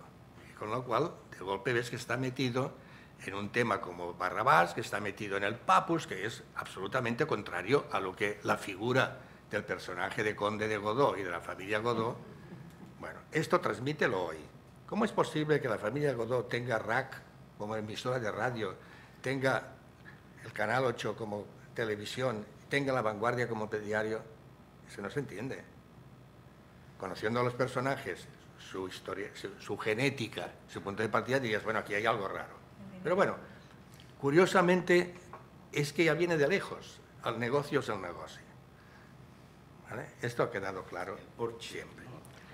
Cuando Carlos Navarro y Echarri, porque Javier tiene que abandonar, se quedan con el Papus, no lo olvides, María, lo que están buscando es ganar dinero. Les tiene sin cuidado lo que pone el Papus, el que lo hace, el cómo lo hace, el que va a salir. Y cuando sale la bomba, yo no digo que la pusieran ellos, pero estaban encantados.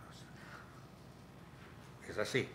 O sea, yo creo que las cosas hay que en un momento dado ponerlas en claro, porque si no cuestan mucho de entender. Pero realmente el Papus es muy importante y tú has hecho un excelente trabajo. Estoy, esto ya te lo digo. Pero en todo ese mundo hay distintos tipos de humor, estamos de acuerdo. Iba es un seguidor de Charlie Hebdo y del Enchaine. Bien. Oscar es un seguidor de Bruguera. Él es un seguidor de Vázquez, de Mortadelo y Filemón, esto es, este es su humor, ese humor de la calle. Que esto es para mí básico, para vender. Ese fue mi error muchas veces. O sea, no mezclar todo ese humor. Porque lo que te ayuda a vender es esto, porque no olvidéis una cosa. Por favor, jamás ganó un duro. Y esto, esto pero en cambio, después, en su momento, con, y, National Show tampoco ganó un duro, que es el humor que Gene y yo entendíamos. Es el humor anglosajón, es el humor del punch, es el humor del nacional Lampoon. Eso no tiene, curiosamente nos gustaba mucho, pero eso aquí no hay quien lo compre. Y cuando te das cuenta, ya has perdido un montón de pasta, por hablarlo de una forma medio vulgar. ¿no? Pero bueno, realmente yo creo que efectivamente el humor fue la gran válvula de escape durante todos esos años de transición. Porque la transición no es el 76, la transición empieza antes. La transición empieza prácticamente en los años 70 y la transición continúa. Con la muerte de Carrero Blanco mejor dicho, con el atentado. Con el atentado Blanco. Pero bueno, es que realmente es que hay, hay puntos ya en, ese, en, esa, en esa etapa de que ves esas fisuras y que mucha de la gente con la que hablas del régimen ya no, están, ya no son tan del régimen, ya es gente que está pensando, ya es gente que quiere y está planteando un cambio o una evolución. Y eso lo notas incluso cuando yo me siento, a mí por ejemplo, pues con el punto de partida es cuando mi Sánchez Bella me llama y me dice mañana le quiero usted aquí a las 10 de la mañana porque qué barbaridad han publicado ustedes en Bocacho. Yo digo, que hemos publicado. Y dice, mira usted la página 70. Yo miro la página 70, cuestionario Proust hecho por Marcé, y veo una manzana partida por la mitad. Yo digo, oiga, que es una, manzana, es una manzana partida por la mitad. Dice, ¿y lo que parece? Es lo que parece. Al día siguiente yo voy a Madrid, me reúno con el director general de prensa, no con él, porque Sánchez de Villano me recibió, por supuesto, sino que me recibió José Luis Fernández y Fernández de Madrid, que era hijo de Fernández de Asís. Y este chico ya era alguien que pensaba. pues este es el que me aprobó el por favor y me permitió que se llamara por favor. No me permitió que se llamara séptimo de caballería, pero sí me aceptó que se llamara por favor. Y entonces me dice, mira, lo siento mucho, pero tengo que ponerte un, un censor y efectivamente llama a un señor, me viene, me lo presenta y nos vamos los dos a su despacho. Y este señor, que era un señor de unos 60 años, me dice, mira, yo estoy a punto de jubilarme y estoy aquí, no hago nada. Dice, por lo tanto, vamos a tratar de llevarnos bien. Me parece, estupendo. Bueno, tú me enseñas lo que vas a poner, yo te hago comentario y, y vamos ajustando el tema. me parece muy bien. Entonces yo lo invitaba, a este señor lo invitaba a tomar copas en Bocacho de Madrid. Y en Bocacho de Madrid había una televisión donde pasábamos fotos. Yo cuando él venía ponía fotos muy fuertes. Porque al día siguiente, cuando le llevaba las mías, ya no las encontraba tan fuertes. Claro, es que realmente os advierto una cosa. Yo he trabajado muy cómodo con la censura. Porque sabía lo que, hasta dónde y cómo, y bueno, era cuestión de, si, yo estaba dispuesto a no, a no extralimitarme o encontrar las fisuras, pues podía funcionar. Con este señor tuvimos una relación magnífica. Después lo nombraron director de Información y Turismo, de Información y Turismo en Barcelona. Vino a Barcelona, no conocía nada de Barcelona, con lo cual fui su cicerón en Barcelona. Lo introduje en la sociedad, por decirlo de alguna manera, de Barcelona. O sea, lo llevé al bocacho de Barcelona, que es lo que, de lo que se trataba. Y este señor después, con la transición, tuvo una vida política importante. Fue gobernador de Murcia y gobernador de Albacete. O de Alicante. Sé que, bueno, o sea que, señores, la vida tiene, tiene, tiene esos, esos juegos, ¿no? Bien, realmente, quizás en este planteamiento, la revista probablemente más importante de humor que yo he editado ha sido Por favor. Y fue un error. Fue un error porque realmente era una muy buena idea tener a Vázquez Montalbán, tener a Marcé, tener a Peric, tener a Forges, tener a Maruja Torres. O sea, el equipo era fenomenal. El equipo era fenomenal, pero realmente el problema es que eran unos iluminados. O sea, lo de vender revistas les tenía sin cuidado. O sea, en lo cual entonces hace la cosa muy difícil. El único, el único personaje, digamos, que podía tener gancho a nivel de calle era Martínez el Facha. Y este es un personaje que sobrevivió muchos años precisamente por eso. Pero no, ent- no, hace- no entramos en lo que teníamos. O sea, el gran éxito de, y, el, gran éxito en su momento del Papus y el gran éxito posteriormente del jueves. ¿Y por qué el jueves ha durado hasta ahora?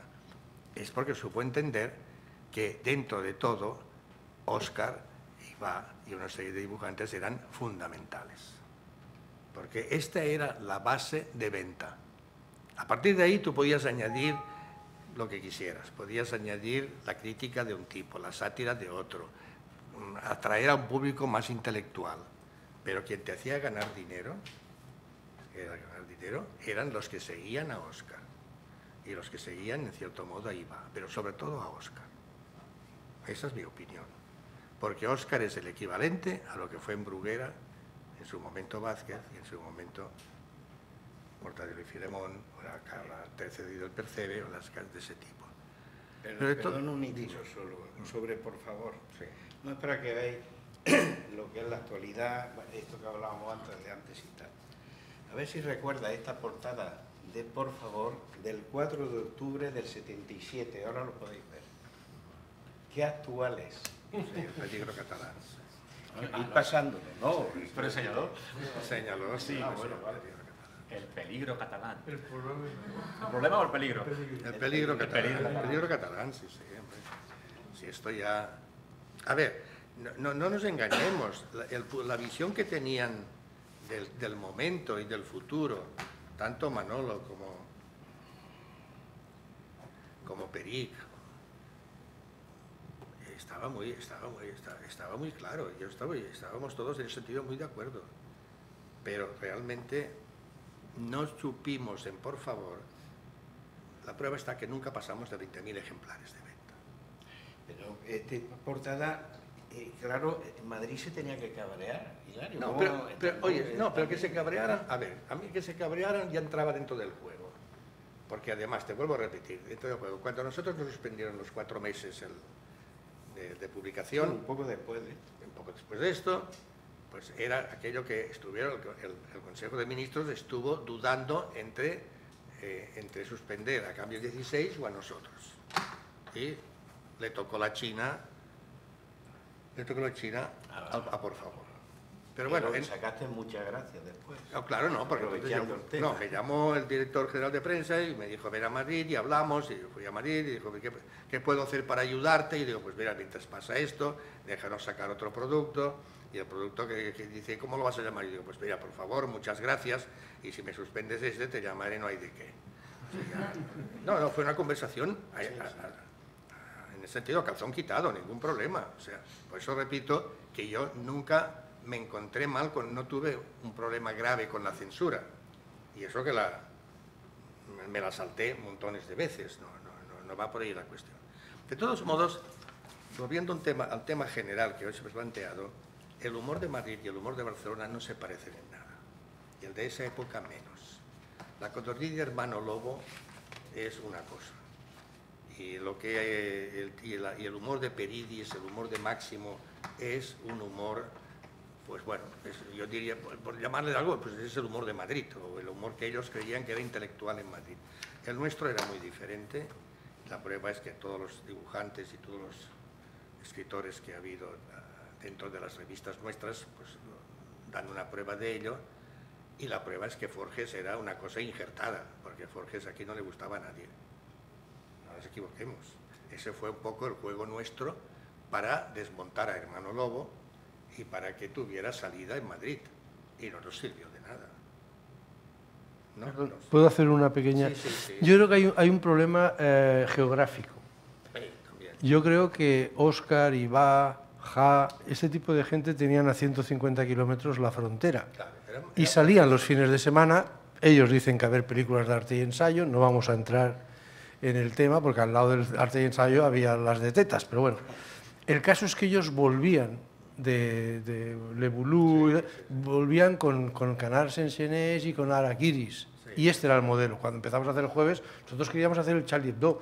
y el primer jueves es un, es un bicolor imitación del Charlie Hebdo es mucho más difícil eso para la gente de Madrid y, y se nota en que, como además en este país no hay escuelas de arte que, como en el mundo anglosajón, uniformiza un poco los dibujantes, en realidad los dibujantes de Madrid son personalísimos. Es decir, de Chumi Chúmez a, Forges, a Máximo, hay, muy pocas influencias foráneas. Hay algo de Ronald Shirley en Mingote y en, el primer Máximo, pero en realidad no hay influencia, es, es una escuela muy, muy, muy autóctona. Y entonces, como es tan autóctona y que sus únicos reflejos son el tono y el miura de los antecesores de la codorniz, acaba siendo un conjunto de dibujantes absolutamente eh, eso, independientes unos de otros y tal. Lo cual dificulta, yo vuelvo a mi teoría, el hacer una redacción. Porque las revistas de Madrid no tenían redacción. Eh, el señor Álvaro de la Iglesia vivía en un despachito con un maquetista y los dibujantes le dejaban un sobre con chistes abajo. Entonces él luego se ponía con el maquetista y los maquetaba. Y una vez me dijo Chumi Chúmez, dice, yo supe que Hermano Lobo no funcionaría cuando la gente me llamaba por teléfono y decía, oye, te he dejado unas cositas en la portería. Unas cositas quiere decir que el dibujante hacía chistes, enviaba uno a su diario, otro a la revista tal, y lo que le quedaba lo mandaba Hermano Lobo. Y eso hacía que Hermano Lobo no conectase tanto con la gente.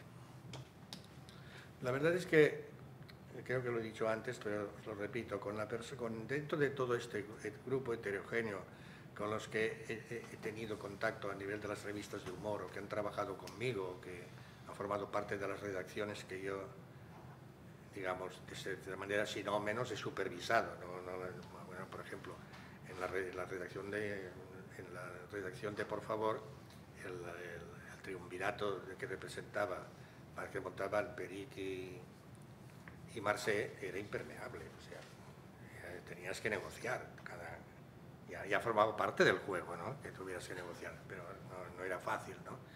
Pero quiero decirte que este sentido, pues, no sé, pues lo ves. El jueves fue mucho más fácil, porque el jueves ya fue, ya fue una cosa que era un poco un resumen. Y con Jean nos entendíamos muy bien. O sea, el, el jueves es un tema entre Jean y yo, que lo tuvimos claro. Sí, perdona.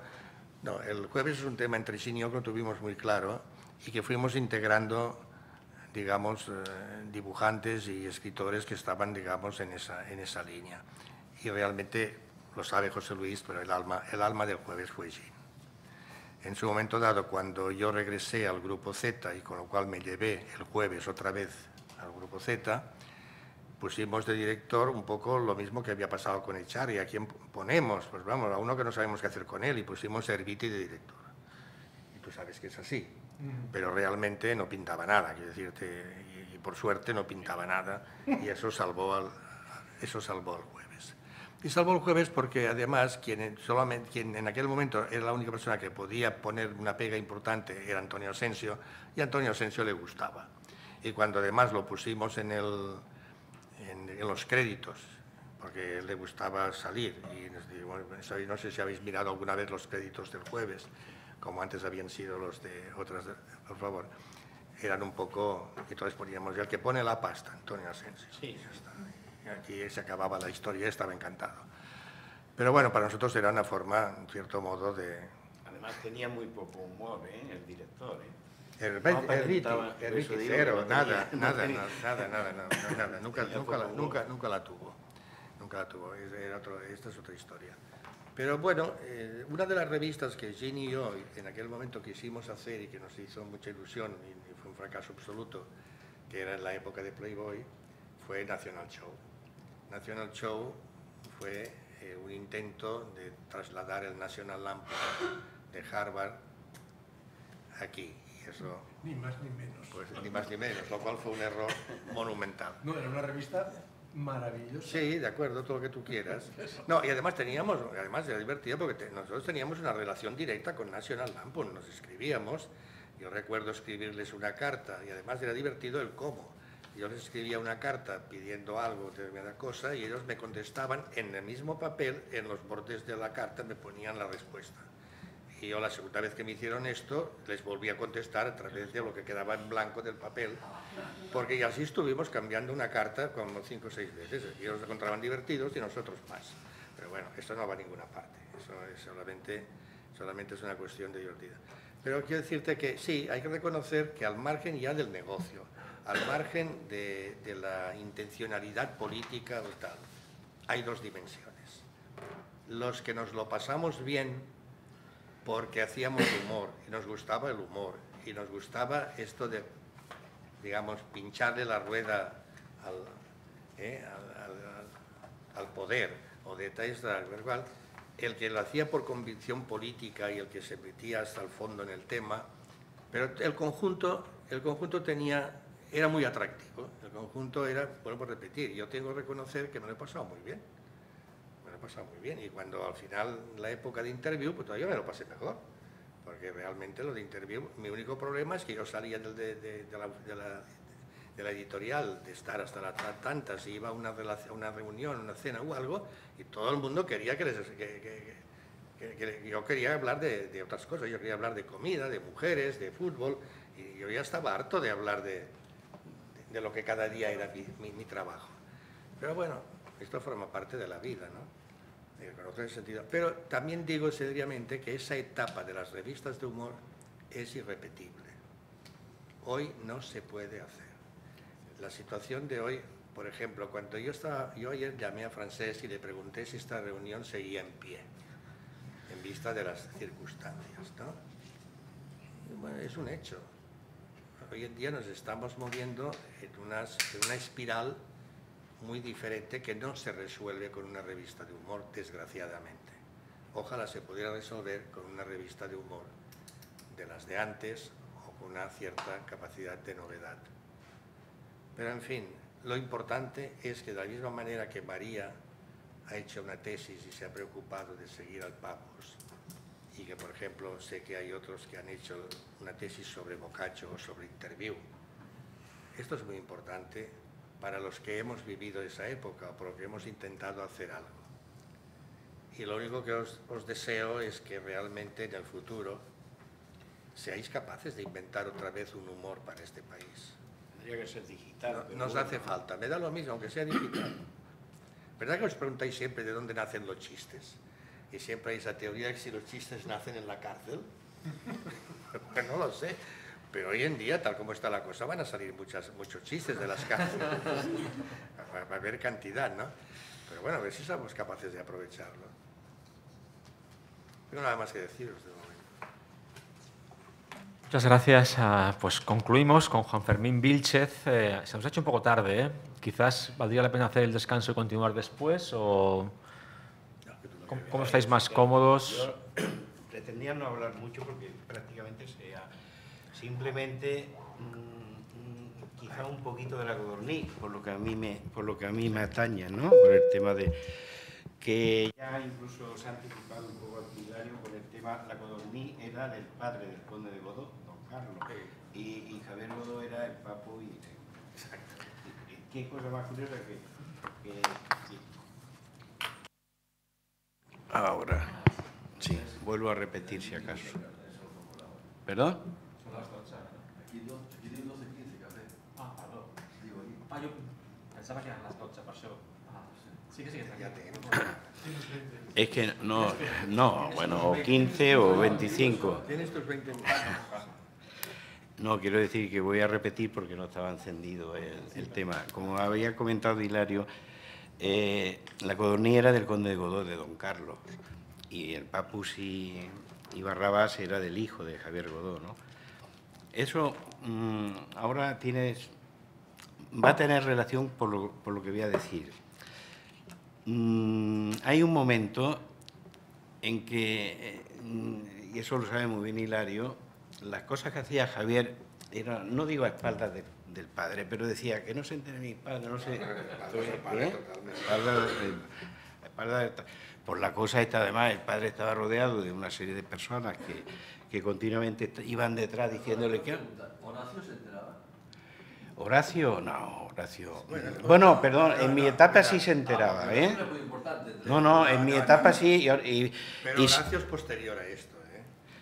sí, es que lo que ocurre, no, no, lo que ocurre es que yo no, entro en la codorniz en el, en el hablando- Lo que 78. estamos hablando en ese Sí. momento, Horacio, Sí. era más importante como jefe de publicidad de la CB Films Sí. que como redactor de La Vanguardia. O sea, No, pero olvídate. yo, yo hablo durante cuando Javier ir por su, por su cuenta.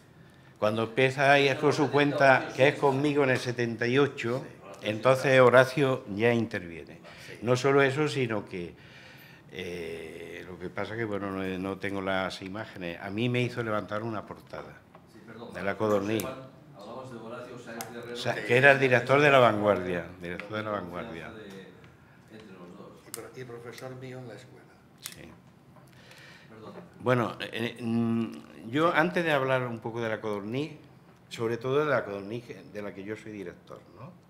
que en, en ese tema que ahí, en ese momento, y sí influye Horacio porque a mí me levantó, bueno, me levantó, me dijo que por favor que no publicara la portada y tal, con el, eh, con el consiguiente cabreo de los dibujantes y de todo. Hay que ver que estamos en el año 78, que ha sido el año más, 77 y 78 han sido los dos años más libres de este país en toda la historia. Y que a estas alturas haya que cambiar una portada, la portada era muy simple, eh, aunque luego vuelvo a hablar, era eh, cuando detuvieron a la, a la hija de Franco con las joyas, que la detuvieron que iba a Suiza, ¿no? En el aeropuerto. Eh, mm, era un dibujo de Martín Morales, la señora pi, pi, pasando por el aeropuerto, y el título era eh, El franquismo se pasa al franco, no, perdón, la marquesa se pasa al franco suizo. Era el título grande. La portada la tengo yo guardada todavía. Es una pena que no he podido traerla porque ese tipo de cosas que las guardo, las tengo en un archivo mío en Granada, y si no lo hubiera traído. Tengo las dos portadas, la que salió y la que no salió, ¿no? Y esa noche, bueno, Horacio me llamó, eso no puede salir, ¿qué tal? Era las dos de la mañana, además como la codorniz hacía en, tipografía también, en- bueno. Y bueno, digo, bueno, efectivamente, si el señor Conde Godó paga y tal, digo, bueno, yo lo, lo admito, es decir, hay que ser... Sí, Esto era en abril del 78. Vale, pues es que Horacio aún no había sacado española del nombre de la República Española. No, lo sacó en agosto. Fue más tarde. Lo sacó en agosto. Bueno, lo que quería decir antes, mm, yo escribí, bueno, a lo mejor lo habéis visto, Francés me ha comentado, yo escribí hace un par de años un artículo en, la, en el Argonauta Español, en una revista de, de la Universidad de Montpellier, que es- francés, pero bueno, eh, a mí me lo tienen, en, en- es francesa, lo tienen bilingüe, pero a mí me, respetaron, eh, lo que pasa es que la han traducido. Entonces, yo escribí un artículo que a lo mejor habéis leído alguno, pero que era Prensa satírica en España, 1970-1980, una década de esplendor. Efectivamente, en esa década, en, toda la historia de, este país, en todo, nunca ha estado la prensa satírica como, como en esa época. Hay incluso un periodo de tiempo que, es en el 74, 75, que incluso coinciden seis semanarios satíricos. Eso es absolutamente impensable. Barrabás, el Papu, la Codorní, Hermano Lobo, el Cocodrilo Leopoldo y el jueves, que, no, el jueves no está todavía. A ver que me falta uno. La Codorní. No, no, sí, ya sé. Barrabás, el Papu, la Codorní, Hermano Lobo, el, eh, por favor, perdón, me faltaba por favor. Vale. Eso nunca había pasado. Cada una con sus características. La Codorní ya estaba en la etapa, digamos, la última etapa del, del franquismo efectivamente cayó en picado. ¿no? El que en ese momento está ganando dinero es el Papu. No, pues eh, por supuesto. Bueno, yo he comentado algo sobre el tema del Papu, que me decía Charlie que, que vigilara Ja, porque metían en los circulitos estos a ver qué frases ponía, porque es que cada vez que metía una frase era cataplum, multa y tal, y, un, y sumando, mm, al final costó la, el tema de la suspensión porque se metió con el censor y con el fiscal. ahora mismo no, recuerdo exactamente por qué fue. Mm, como he comentado antes, ha sido la mejor etapa de mi vida y he, pasado por treinta y tantos sitios, es decir, que tanto en Madrid, Barcelona o, en otros sitios. Estuve desde enero hasta, hasta la suspensión jugábamos al fútbol en el pasillo, Carlos Navarro salía rompiendo los balones, luego se ponían balones nuevos. Sí, pero luego decían, es que para la papunovela necesitamos otro balón. No, la papunovela estaba, es una pena, me acuerdo, uno de los protagonistas era el pobre conserje que murió en la, en la bomba, ¿eh? Juan Peñalver. decir, que, y, y bueno, eso es la, ha sido la etapa Lo que sí quiero decir del Papu, se ha comentado por aquí algo y tú, muy bien tu trabajo, pero para mí una de las cosas que tiene el Papu es que incorpora el lenguaje callejero y concretamente el lenguaje de la Rambla, del barrio de aquí, de Barcelona, que eso que estabas hablando de Madrid, es que no tiene nada que ver. El humor de Madrid tiene otro tipo de lenguaje. Y el éxito de Barrabás y el Papu viene porque incorpora lo que se oye en la Rambla, lo que se oye en el Raval, lo que se oye en la tal, y lo meten ahí. Entonces, claro, el resultado es espectacular y el éxito total porque conecta absolutamente con... para mí, aparte de los buenos dibujantes, perdón, de buen dibujantes que había, aparte de Jim, que era el número uno en dibujo, en dirección artística, en persona y todo. Sí, pero aparte, Jim por sí solo no, él, pero sabía disponer las piezas. Gil no era vendedor. no, era muy bueno, sí, pero era también de los que no vendía nada. No, él por sí solo no, por supuesto, eso está claro. No vendía en el sentido, eh, bueno, Gin era conocido en ese momento quizás fuera, a través de los, de los dibujos de Playboy o de a todo color que sacaba de señora, eso no es que fuera machista, que vivía de ese tipo de cosas que, por el tema de, ahí, el que, ahí en esa etapa los que venden el Oscar iba, que al principio iban juntos, se echaban a, una moneda, entonces sale cara o cruz, tú, haces los dibujos y yo hago los textos, al revés, y entonces ponía Oscar Iba o ponía Iba Oscar según se lo jugaba. Luego se separaron porque era, no tenían nada que ver uno con otro, es decir, que es lógico que, esa separación y ya actuaba cada uno por su cuenta. Lo que dice José Luis Martín, hizo Jin en, el Papus fue montar una buena redacción. Exactamente. Eso, eso Exactamente. esa redacción era lo bastante variada para que tuviera un público. Eh, estaba Fer, estaba García Lorente, estaba eh, bueno, había bastante. Bueno, entonces eh, lo que quería comentar de Papu ya lo ha explicado muy bien, eso para mí que una de las cosas más significativas es la incorporación de, del lenguaje de la calle y desde ese punto de vista no tiene nada que ver con el humor de Madrid, porque el humor de Madrid luego lo intenta a través de que si lenguaje cheli y tal, o el tema de Forges, que es un pero que no, que no conecta como, como conectan Barrabás y el Papu.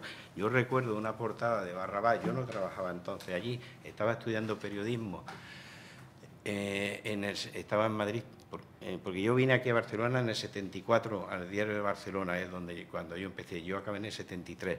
Recuerdo una portada de Barrabás que fue cuando perdió, cuando Yugoslavia eliminó a España para el Mundial, no recuerdo el que venía después, que era Kubala haciendo caca, poniendo todo el pompi, digamos, la portada. Era un, eh, me parece que era de Ibar, eh, un racer total, calcao, ¿no? ¿Qué, Pues esa portada, bueno, tú te, lo verías.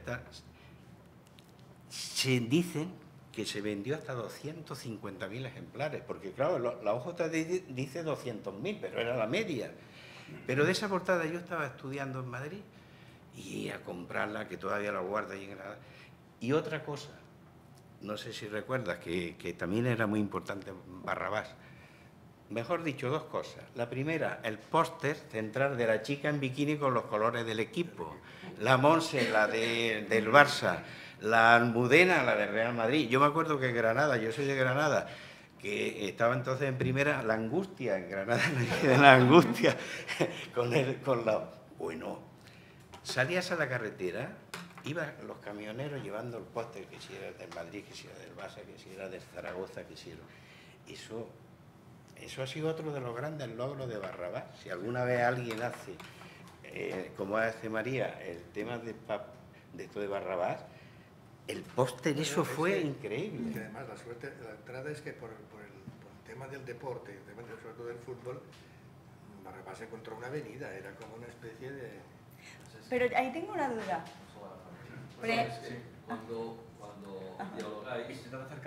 Ah, perdona, no se entera nadie. No se entera. Es para la grabación. Sí, sí, sí. Cuando dialogáis tenéis que mover el... Vale, vale.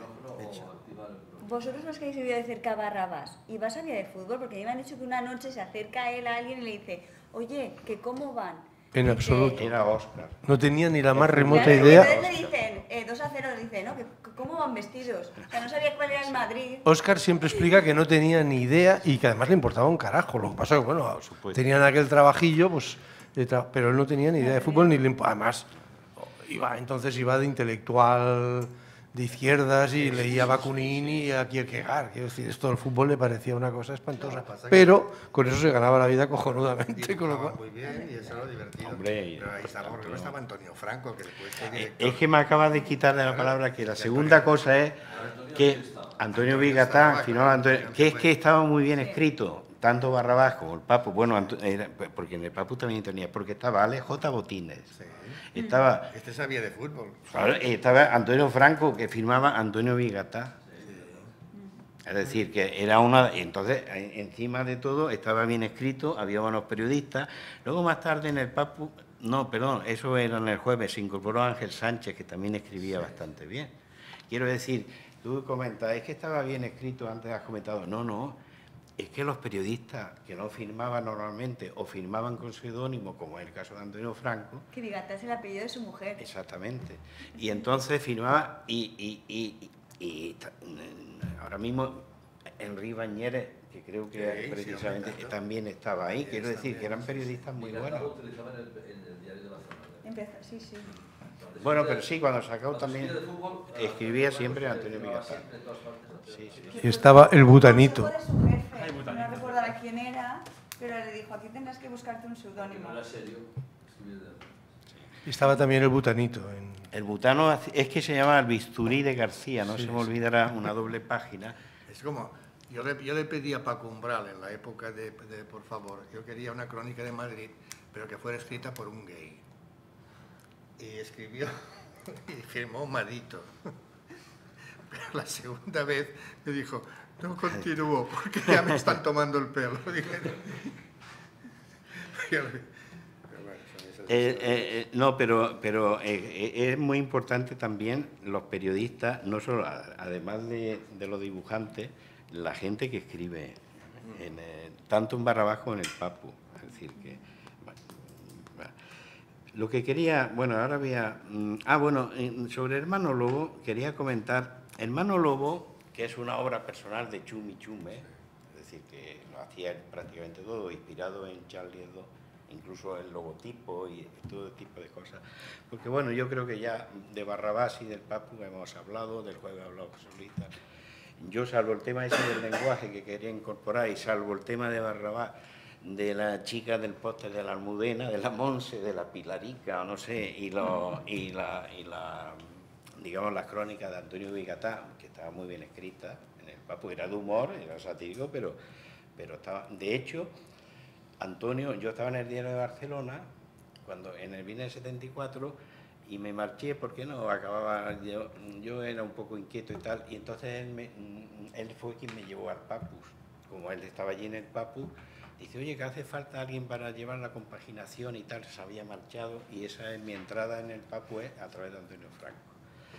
Lo que quería también eh, es decir, de, decir de hermano Lobo, Hermano Lobo es muy interesante en esta época, que nació en el año 72, porque del humor blanco, del humor absurdo y del humor intrascendente, irrelevante en realidad, de la codorniz, de buenas a primeras, plom, sale Hermano Lobo, humor negro, humor social, humor eh, un poco incluso económico, humor político no, el humor político quien lo introduce es el señor Hilario a través de Por favor.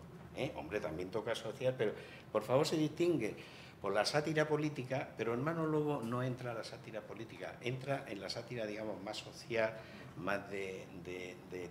y esto, por supuesto, a través de Chumi Chume. Entonces, Hermano Lobo, como es lógico, también tiene bastantes problemas con, con la censura, con el famoso artículo 2 y tal, no sé si lo sabéis, pero lo recomiendo porque alguien está toda la colección digital y se puede ver absolutamente todo en hermanologodigital.com y eso está todo en PDF desde el número uno al último y es una maravilla ahora volver a esos años eh, tocando temas que son actuales, que si la crisis del 73, del petróleo, y bueno, y, pues, Dios mío, pero si es que esto es, es actual, la gente como vivía y tal, y han pasado años y es de fácil acceso porque se puede, por lo visto no sé quién compró toda la colección y la tiene y es gratis, está abierta en hermanolobodigital.com. Entonces, lo que pasa que, bueno, Hermano Lobo, mm, sobre todo, bueno, también empieza a caer con la llegada, digamos, sobre todo después de la muerte de Franco, empieza también un poco el declive. Es que ahí hay unos años, que es yo digo 75, 76, mm, que, que, a pesar de que siguen existiendo tantas revistas semanarias, pero hay como una especie de, no de desconcierto o de confusión. Y entonces unas van bajando, otras van saliendo, unas van desapareciendo, otras van entrando, eh, pero no hay una definición muy clara. Por ejemplo, Cadornilla está absolutamente en el declive y entonces el conde de Godó, don Carlos, que está todavía ficha Manuel Summer y, cambia la codorniz, lo pone a todo color, que la codorniz no estaba en, se hacía en bicolor en la vanguardia, pero lo hace cuatricomio y tal, y sigue siendo un fracaso. ¿A él le gustaba? A él le gustaba. No, es que él era el lector. defendía la codorniz. claro, entre otras cosas, era, era, digamos, un lector de la codorniz, ¿no? ¿Qué ocurre? Ahora voy a entrar con el tema de la codorniz. Mm, yo estaba, bueno, yo trabajé con Hilario, en realidad él me trajo de Madrid aquí en el 77, a primera plana, y, luego, bueno, ahora nos vamos a hablar del tema, etc. Yo mm, estaba en el grupo Z, todo, mm, en el año, cuando sí, exactamente, en el, 78, en una revista, una revista, un semanario que se llamaba Reporter que intentó hacer la conferencia, eh, perdón, la competencia de interview. y entonces un, dibujante, Martín Morales, que era amigo mío, le dice a Asensio... Es de Granada. Es de Granada. Le dice Asensio, está vegetal, tuvo un accidente, perdió el cerebro y está, está, vegetal. Eh, le dice Asensio, deberíamos de hacer una revista parecida a Le Canal en Chené. Y dice Asensio, pues muy buena idea. pues venga a preparar el, proyecto. Yo estaba allí en el grupo Z, era amigo mío, estuvimos allí tirando raya, entonces no había ordenadores y tal. Recuerdo que le pusimos el gacetón. Pero, esto estamos hablando de finales del 77, pero a finales del 77 el señor Hilario vuelve al grupo Z y con el señor Hilario entra el jueves. Y entonces ya el señor Asensio dice que, sí, ya, que, que no lo olvidemos, que del producto, porque ya está aquí el jueves, que ya está, está aquí otra vez, y vuelve y desembarco, y, y, ahí se quedó la cosa. Entra a primera plana. Exactamente, entró a primera plana también, siesta, de todas las, mm, todas las revistas que, que tú aportabas. Bueno, ¿qué ocurre? Me llaman de la vanguardia un día, me voy, dejo el grupo Z y me voy, en teoría, a cambiar la vanguardia, que, que, no, que no, no, sucedió nunca. Y entonces le digo a Javier Godó, digo, yo me marcho de aquí, no se puede hacer cambio ni nada. Dice, no, no, no, pásate a Gaceta Ilustrada y, y, a Historia de Vida y tal. Y en esto, que desaparece la codorniz de Bona Primera un día en el kiosco y dice, cerrado, sin despedirse ni nada, en, enero del 78. Qué cosa más rara. Bueno, yo por el tema de las revistas que me había ya que no podía hacer yo nada en la vanguardia, precisamente ya porque chocaba con el señor Horacio, y, yo estaba en el sector de la ley, entonces se me ocurre decirle a Javier Godó, que siempre está, ah, bueno, ya no tenía el papu tampoco, ya le había dejado el papu, porque estamos hablando que después de la bomba, y le digo, yo tenía un proyecto de una revista de humor en Z, inspirado en el canal del Chené, y, dice, y se lo enseño, dijo, uy, perfecto, venga, vamos, vamos a, que reaparezca la codorniz. Él ya está mandando más y un poco a espaldas del padre, de todas formas la, la cabecera y todo lo tiene la vanguardia, ti se está, y dice, uy, uy, has tenido una idea muy buena, vamos a poner en marcha la codorniz, montala como tú quieras. No, no, que va a ser tipo periódico, calcado al canal en. Montamos y sale la codorniz esta, que en realidad no tiene nada que ver con la codorniz que ha existido antes, ¿no? Es decir, esto es un tema absolutamente nada. Salió en, en, marzo, finales de marzo, creo, del 78, bueno, lo tengo aquí en la, pero en la primavera del 78. Se pone todo en marcha, viene Máximo, Martín Morales, como era uno de los autores de, esto que estoy contando, salvo en el, perdona, en el artículo que he escrito en el Argonauta, esto es inédito totalmente. Hay muchísimas historias de la prensa en España a través de, los digitales y de tal, y esto no está contado. Viene Martín Morales, que tiene el proyecto de, segundo, de director adjunto, y Máximo, que también yo lo conocía, Máximo para mí, aparte una persona cultísima y tal, lo que pasa que, bueno, hacía dibujos que no que, no, pero... Y Jin, y le digo que está, que está en, eh, eh, también, y le digo a Javier, de Jin, porque yo tenía mucha relación con Jin, dice, por supuesto, los tres, digamos, eran los, los decían adjuntos a la dirección. De su director a Cándido, a Carlos Luis Álvarez Cándido, que era un periodista que escribía muy bien, de satírica y tal, y se hizo un equipo y por primera vez, y esto es muy importante ahora que lo recalco, lo que dice José Luis, que en Madrid no había redacciones, eso de que dejaban las cosas en la portería, yo por primera vez monto una redacción, donde van allí a trabajar, van, van los, los colaboradores, y entonces hay gente eh, que hace textos satíricos, pues Raúl del Pozo, Manuel Vicén, eh, Víctor Márquez Riveriego, que hacía las crónicas parlamentarias, le llamaban los culiparlantes, que estaba en Víctor Márquez Riveriego, eh, escribía muy bien la sátira también. Recuperamos del hermano Lobo, no sé si os acordáis, el Macarra, las casetas de Macarra, aquel que tenía mucho éxito, era un señor, se llamaba de la Cruz Hermosilla. y se hace una revista, digamos, basada sobre todo en Máximo, en Martín Morales y Jean, por supuesto incorporamos más dibujantes, Julio Cebrián, eh, Ops, empezó, lo que pasa es que firmaba como con otro nombre, luego ahora, ahora utiliza Roto, pero bueno. Y me acuerdo que se fichó como a Ramoncín, que estaba de moda. Y Ramoncín llegaba, ese sí llevaba el artículo, tenía que tener 10.000 pesetas preparadas que cobraba por el artículo, estaba en aquellos tiempos, y daba artículos de 10.000 pesetas hasta la semana que viene, ¿no? Un artículo que eran 15 líneas o 20 líneas y tal, ¿no? Se pone todo en marcha, sale, se hace gran campaña, la vanguardia apoyando la, la codorniz y tal. Bueno, la nueva codorniz la codorniz encadenada, les decían, porque se inspira en, el canal en, en Chené. Y en teoría va todo bien hasta, hasta el número 11. ¿Qué pasa en el número 11? El hombre de la, de la codorniz en Madrid, que era el gerente, era un hijo natural de Conde de famoso este de Amaro, creo que ha fallecido ya el conde tenía hijos, y entonces lo tenía allí como tal. No, este, este, eh, insisto, insisto que es una historia inédita. Insisto que es una historia, una historia inédita porque no está contada y tal.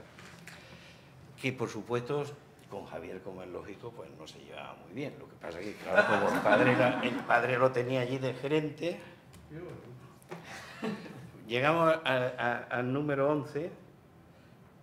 No voy a dar tampoco detalles porque mm, hablado no es lo mismo hablado y luego grabado porque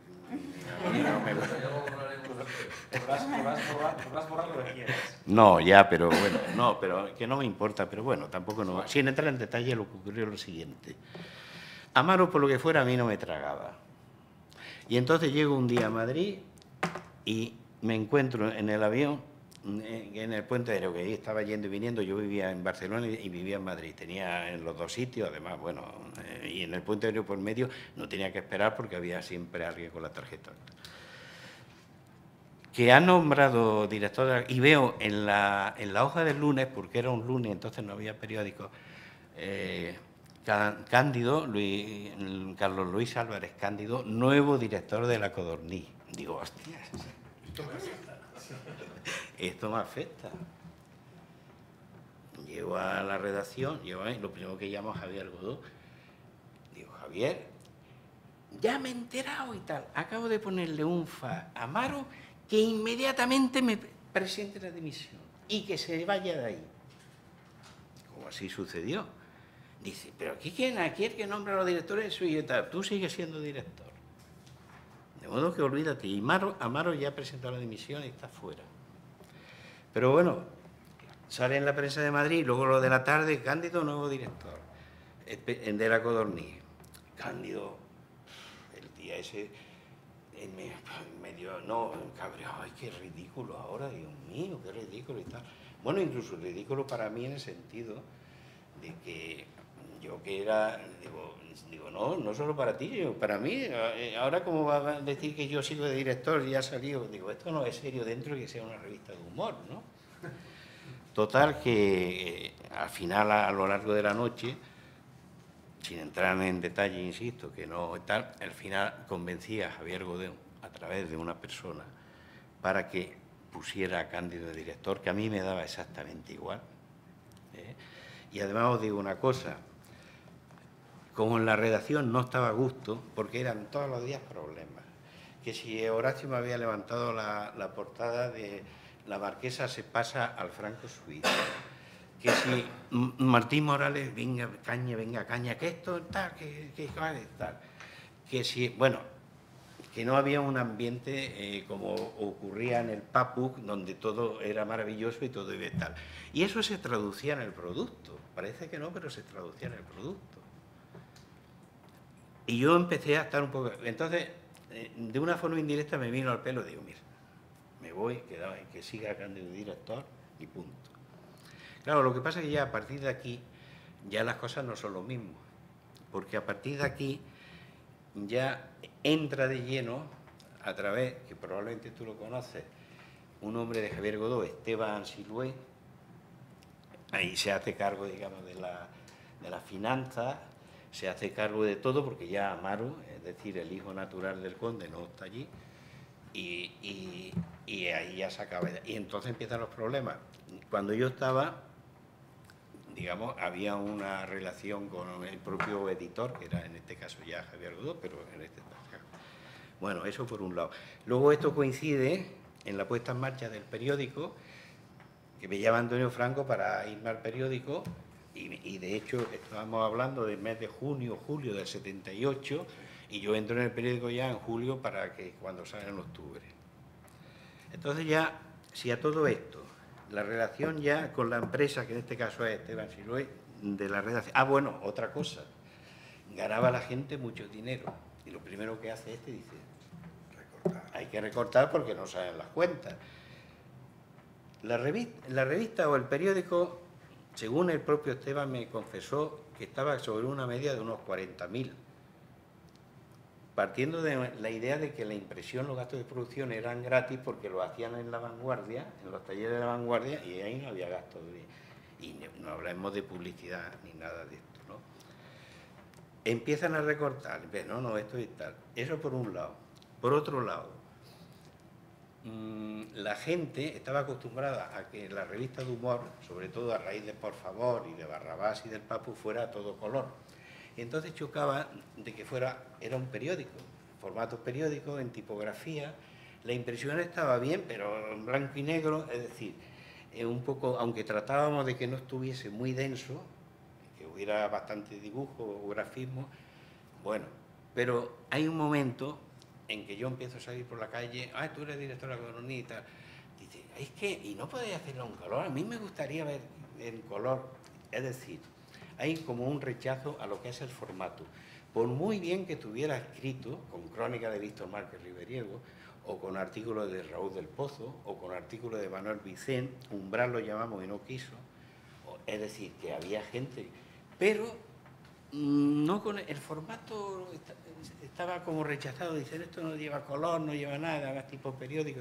Bueno, resultado, yo ya estaba entonces en el periódico, que un día Javier Godó pues ya me esto se ha acabado.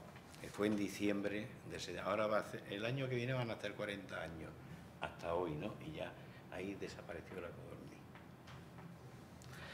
¿Por qué desapareció, insisto? Por todo esto que he estado comentando.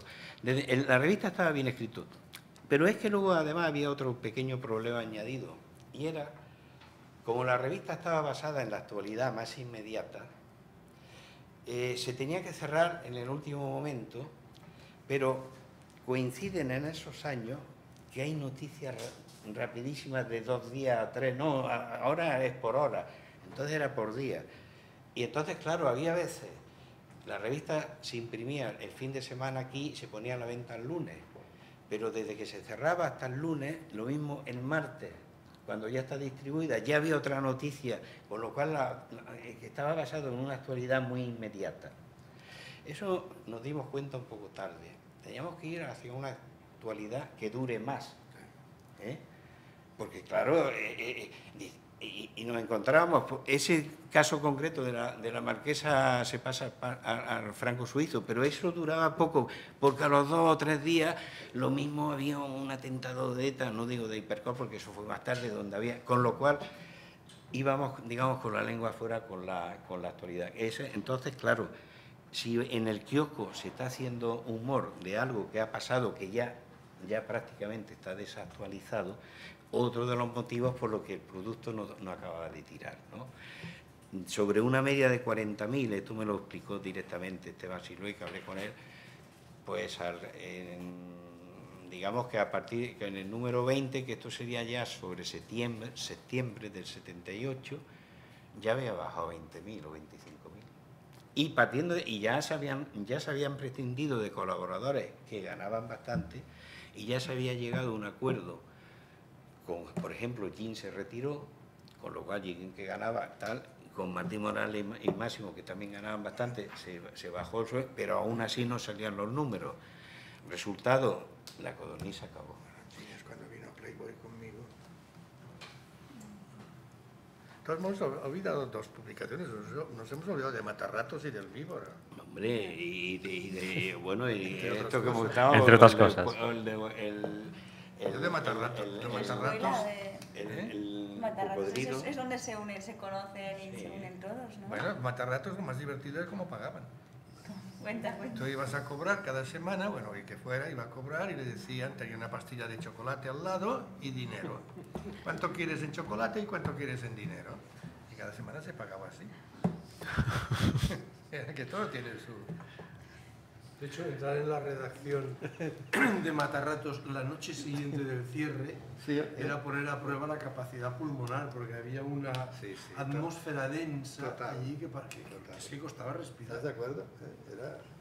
¿La primera revista que empieza a pagar bien es el Papus o Barrabás de Barrabás Los pri- en los primeros editores que empiezan a pagar, a pagar bien, Es eh, está aquí el señor. Sí. Y eso, va- eso está en todos los... Era famoso por eso. Era fa- está. Si te llamaba Eso sí, Hilario, era buena cuando, noticia. cuando no podía, cuando no podía, nos decía, oye, que no puedo, pues no pasa nada. Bajamos el suelo no, o, o vete y quedamos tan amigos. Sí, todavía no hemos hablado de cómo se fichó al equipo, al triunvirato de Por Favor, ¿no? Con un- con- no hemos hablado de cómo se fichó al triunvirato de Por Favor, a Vázquez Montalbán, a Forges, eh, Bueno, se como una ficha del jugador de fútbol prácticamente. algo así. Eh, lo podemos dejar aquí, descansamos 20 minutitos y volvemos y acabamos Y ya ya, hacemos- y hacemos el debate final, y nos acabamos de preguntarlo todo y todo eso. Hay, en el piso de arriba hay un café montado y unas pastitas y allí podemos descansar un rato. Y en, a, digamos, a la una menos 5, 20 minutos, mm, regresamos.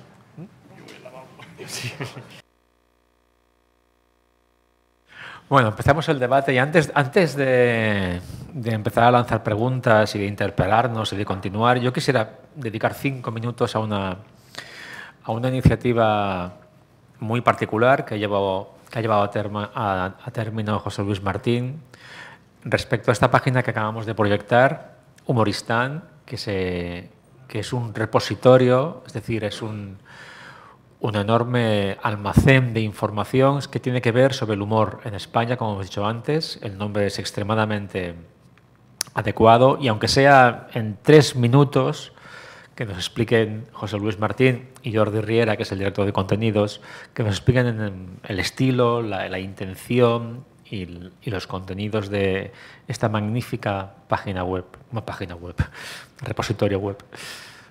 Bueno, de hecho no hace falta ni tres minutos. Eh, nosotros desde la Fundación Jean, que se constituyó un año después de que muriera Jean, en el año 97, eh, nos propusimos eh, mm, hablar de humor gráfico, proteger el humor gráfico, difundir humor gráfico. Y hace cuatro o cinco años, a propósito de una conversación con Tony Giral acerca del famoso museo del cómic, del que yo soy muy pesimista, comentábamos que hoy en día hacer un museo, que a lo mejor se hace, ¿eh? pero es caro, es, es- es costoso, hay que establecer plantillas, horarios, mm, nunca pueden enseñar lo que tienen en depósito porque no hay paredes suficientes, eh, solo se pueden hacer un. Fue cuando se nos ocurrió la idea de que en realidad hoy en día hablar de un museo de piedra eh, es algo anacrónico. Y fue cuando se nos ocurrió la idea de, hacer Humoristán. Eh, Humoristán intenta recoger eh, el humor gráfico que se ha hecho en España en los eh, 150 años de historia del humor gráfico. Em, reuní a gente que sabe mucho más que yo de humor gráfico, como Jordi Riera, como Tony Giral, como el Jaume Capdevila, y, y en realidad lo divertido del tema es que ellos fueron los que fueron eh, ideando o imaginando cómo se podía hacer el museo. Yo creo que el museo tiene dos características eh, estupendas. Una, que la calidad de los dibujos que se reproducen es muy buena, tenemos mucho cuidado en, que la reproducción sea buena y se pueda ampliar el dibujo para poder apreciar toda la calidad. Y otra, que esté todo interrelacionado, que tú entres en un autor y sabes en qué revistas ha trabajado y qué personajes ha, hecho. ¿no? Y estamos muy contentos, llevamos tepitos y flautas unos cuatro años trabajando en el tema.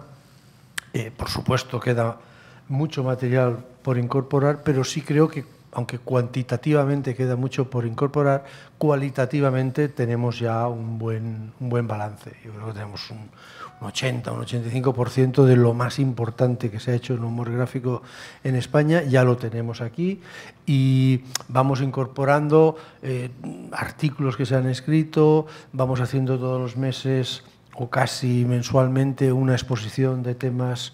Por ejemplo, este mes hemos hecho una exposición dedicada justamente a los 40 años de la bomba del Papus. Sí. Y, y, un poquito con la sensación de la aldea gala de Asterix, ¿eh? es decir, esto del humor, pues el humor gráfico en papel, obviamente va a menos, pero por lo menos que haya un, un lugar, un, un, lugar digital al alcance de todo el mundo y 24 horas al día que guarde memoria, que es la, la, la, la finalidad de la Fundación GIN, que guarde memoria de que esto ha existido y ha sido muy, muy, muy importante en este país.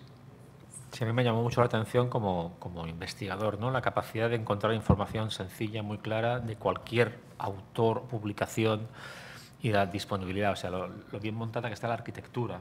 Del... Esto fue, eh, ya te digo, nuestros expertos que la, la, primera tarea que hicieron fue explicarles a informáticos cómo, pre, cómo pretendían, yo debo decir que asistía a las reuniones con una sonrisa como haciendo ver que lo entendía, pero en realidad no entendía nada. Sí, nos ocurre a menudo. bueno, eh, simplemente es esto, eh, que sepamos todos que hay este maravilloso eh, instrumento de conocimiento, de información, que incluso se publican noticias y exposiciones y... y... las colecciones de cada una de las... No, las, las colecciones no, vamos recogiendo el material que podemos. Eh, en el caso, por ejemplo, que citaban antes de Hermano Lobo, pues nosotros, eh, si hacemos una ficha de la revista y ponemos los dibujantes que colaboraron y ponemos los, eh, los libros que se han escrito en Hermano Lobo y luego ponemos un enlace a esa colección del Hermano Lobo. ¿no? Se trata de ser, digamos, el centro neurálgico. Sí. ¿Quieres añadir algo? En principio se trata de una web de divulgación de lo que es humor gráfico y el cómic de humor. ¿no? Entonces, uh, esto está hecho uh, sobre cualquier tipo de soporte. El básico es el papel, pero tampoco lo descartamos, por ejemplo, digital, ni descartamos que en los años 50 se hiciera humor gráfico por los papeles secantes ¿no? que se hacían entonces, o cualquier otro tipo de soporte. Uh, está, está ubicada en la necesidad de divulgación, pero siempre con pueda también gustar a los, a los especialistas, a los que sepan, a los que, que realmente tengan un nivel. ¿no? Todas las informaciones están, pasan por más de una mano, o sea que están, comprobadas. Y hay una parte también que es interesante, aparte de las exposiciones que hacemos nosotros, que son hechas por el equipo de, de formación, hay los autores, que básicamente son autores catalanes y españoles o, o extranjeros que han publicado mucho aquí, o sea, es la, el ámbito español en el apartado de series nos, nos, ha gustado mucho también tocar el tema de series porque mucha gente que, que, que no es habitual en el mundo del humor gráfico le puede gustar Mortadelo y Filemón, le puede gustar Sonar y. Lo que nos interesa es que entre dentro del museo, que entre dentro de Mortadelo y Filemón, que realmente es una gran serie, a través de ahí puede ir, a ver la ficha de Ibáñez, a través de la ficha de Ibáñez puede ir a ver que había documentación que se llamaba Pulgarcito, en Pulgarcito puede descubrir otros autores como Alfonso Figueras, nos, nos, interesa que entre la gente a, a, dar un meneo por ahí y que se vaya informando. ¿no? En la parte de artículos me ha interesado, vimos una carencia, que había artículos que hablaban de humor gráfico de los años 30, 50, 80, que si tú no sabes que está en la hoja del lunes de, del año 82, en el número tal, eh, allí hay una entrevista a José Escobar, que si no lo sabes no la encuentras sabes que está en ese número y vas a la biblioteca. Nosotros se lo dictamos y la ponemos ahí, pues está al alcance de mucha más gente. ¿no? En artículos también encontraréis una entrevista que hicimos al, al señor Hilario, una entrevista muy interesante. Doble. Y la parte de las noticias, pues básicamente es hacemos razón de lo que va a salir. La actualidad respecto al humor. Ajá viendo es muchísimo mejor que la que hay esta de la de Alcalá, la Cibernío, no sé cómo se llama, que es horrorosa la, la página, no sé si la conocen o la conocéis.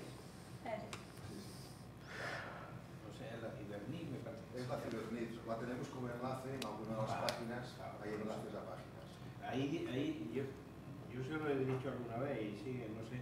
Ahí entró otro grande fallo. Di- Dicen que yo ya estoy fallecido. Pues eso es- eso es un fallo realmente.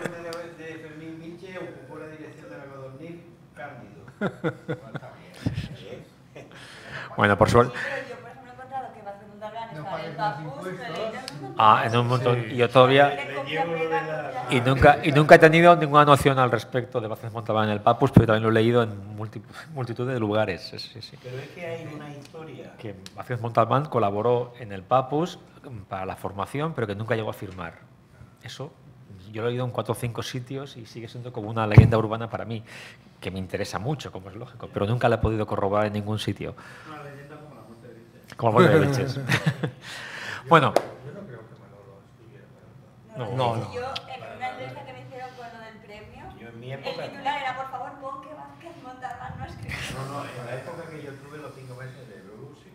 No, En el no. número cero sí que escribió sobre Nixon, y eso me han dicho los que hicieron el número cero, pero que el conde Godó dijo, eh, el conde no, Javier Godó dijo... Este no. Ah, no, este no. Ah. Y luego había una viñeta que era hombre, eh, ¿cómo era? Hermano, hermano tonto, hermano listo, y tampoco quiso porque Javier, el, Javier Godó, Carlos o su padre un el hermano que padre. no está bien. El padre Carlos el padre, Javier era el conde y ahora el hijo se llama Carlos. Otra vez Carlos. Yo tengo un hermano que, Javi. que, que- que en teoría es el heredero. Pero bueno, No, pero él está... pero Y la tampoco lo. Bien, eh, pues va, vamos a empezar ya, digamos, con la parte más eh, eh, académica. Simplemente les explicaré una lista no las sabes. Y que solo te puede explicar él. No es de Manolo, es de Peric. Sabes que Peric trabajaba en Bruguera. ¿Sabías? Sí, bueno. Vale. No, Pues trabajaba en Bruguera y él estaba de, de redactor. O sea, no, no- no hacía dibujos, porque en aquel momento ningún- nadie sabíamos que Peric dibujante. Y en aquel momento en Bruguera yo edité dos revistas. Que fue las primeras revistas que yo edité fue dentro de Bruguera. Una fue Mundo Juvenil, Los Amigos de Marisol. Llegamos a un acuerdo, recuerdos un acuerdo. ¿no? Y la segunda fue Fans, que fue la primera revista que se hizo una presentación en la calle. Se hizo una presentación en un, en un hotel y se hizo una presentación de un nuevo producto, tal, fue Fans. Bien, pues en Fans era una revista, en aquel principio, de, de temas de, de- de música, de, de los bailes y toda esta cosa. Y había una sección en que se presentaban los bailes modernos, el Madison, el no sé qué, no sé cuántos. Y para esta sección, que eran tres fotos, era una pareja que hacía los pasos. Hicimos una pareja y el chico era Peric. Todos tenemos un pasado. O sea, que tú lo has dicho, todos tenemos un pasado.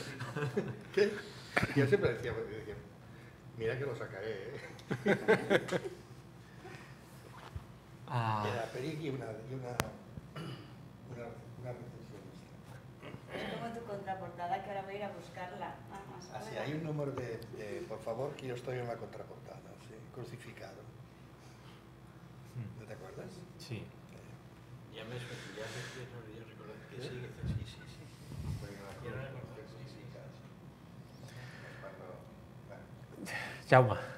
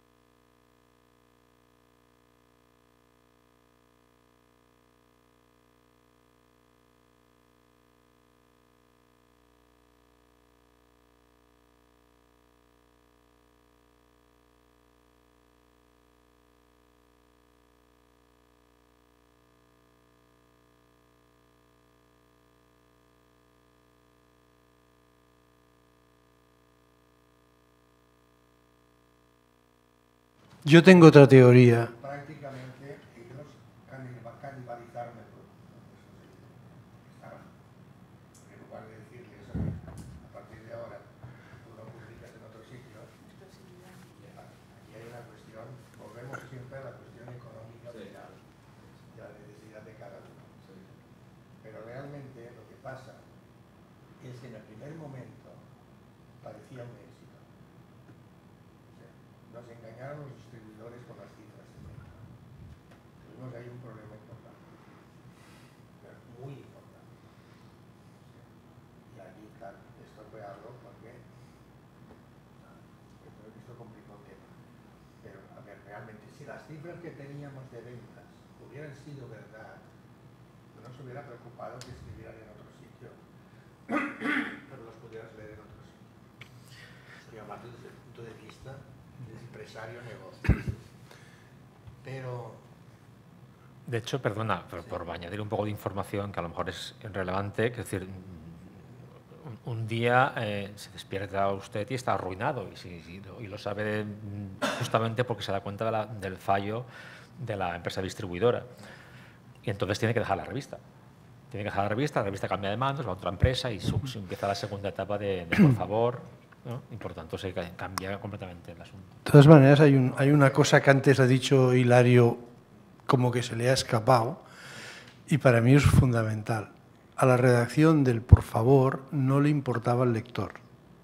No le importaba. Ellos, eh, era un tipo de gente que estaban en la, en la cumbre, que les había venido un editor y les había pagado el oro y el moro para que estuvieran en un proyecto, estaban en lo más alto y, y yo creo que había una cierta petulancia. Quiero decir, la redacción del Por favor era una redacción en la que se reunían a las 4 de la tarde, por la mañana no se trabajaba más que el lunes, y se, se servían copas y ahí comentaban y había un poco, yo a mí esto me impresionaba muchísimo porque era cuando yo empezaba a dibujar, que era la ilusión de mi vida, ver gente a la que yo admiraba eh, tan negativos, o sea, tú hablabas con Peric y te decía que bueno, esto una mierda, este oficio, que no sé qué, que él ya llevaba 11 años dibujando y que estaba harto. Yo pensaba, hostia, pero si es mi ídolo, ¿por qué dice esto, no? Y yo creo que eso influye. Hay una, yo lo digo porque yo de esto aprendí mucho para luego hacer el, el jueves, que al final debe haber funcionado por alguna causa. El, el- el- por favor cometió en esta falta de respeto al lector algunos errores fundamentales que eran los siguientes. El se llenaba una página de chistes de Peri con cuatro chistes que al cabo de unas semanas era de tres chistes, que al cabo de unas semanas era de dos chistes y al final era de un chiste. Al final, el por favor se leía en cinco minutos. Era una revista que tenía que se veía detrás que no había deseo de agradar al lector. Y eso el lector lo capta. Bueno, es mi, es mi sensación. Y era, era un tipo de gente que parecía que hacían las cosas como por hacer un favor. ¿Sabes? Es- Eso, es lo que llamo esa petulancia que tenían entonces. Estaban reclamados de todos sitios, ganaban muchísimo dinero, muchísimo dinero. A mí es una cosa que me llamó muchísimo la atención, porque yo solo los conocía desde como lector y cuando les conocí. Cuando yo vi el coche que tenía Vázquez Montalbán, pensé, hostia, si es el mismo que tiene Fraga, porque tenía un Volvo que no cabía en la calle. ¿no? A mí esto, un chico que venía de un barrio pobre, le llamaba muchísimo la atención, porque decía, hostia, pero si estos señores que son tan de izquierda resulta que tienen mucho dinero. Yo creo que, por favor, careció de esas ganas de comunicar con el lector. Es una opinión personalísima. ¿eh? Voy a... Voy a decir una cosa, voy a decir un tema que probablemente, bueno, no sé si vale la pena. Mira, hay una parte, o sea, a mí me forzaron a vender, por favor. Me, me forzó, evidentemente, el hecho de que económicamente nos hubiera engañado el distribuidor y de golpe nos encontráramos estábamos prácticamente sin liquidez. Pero quien me obligó a vender fue precisamente Manolo Vázquez Montalbán, Peric, Maruja y Forges. Son es quienes me obligaron a vender para cobrar ellos. Vale. En el caso de, de Manolo y de Peric, que están muertos, no quiero continuar. Pero en el caso de Forges, que se negó a colaborar en muchas gracias los cuatro meses que estuvimos suspendidos y no vino a Barcelona para nada ni para echarnos una mano, cuando vendí vino a cobrar. Y vino al notario, cuando yo vendí, Borges vino a cobrar.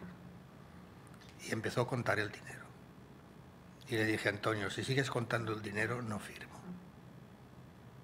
Y si firmé, fue por atención a Maruja y a Manolo, que estaban allí presentes. Pero estas son las cosas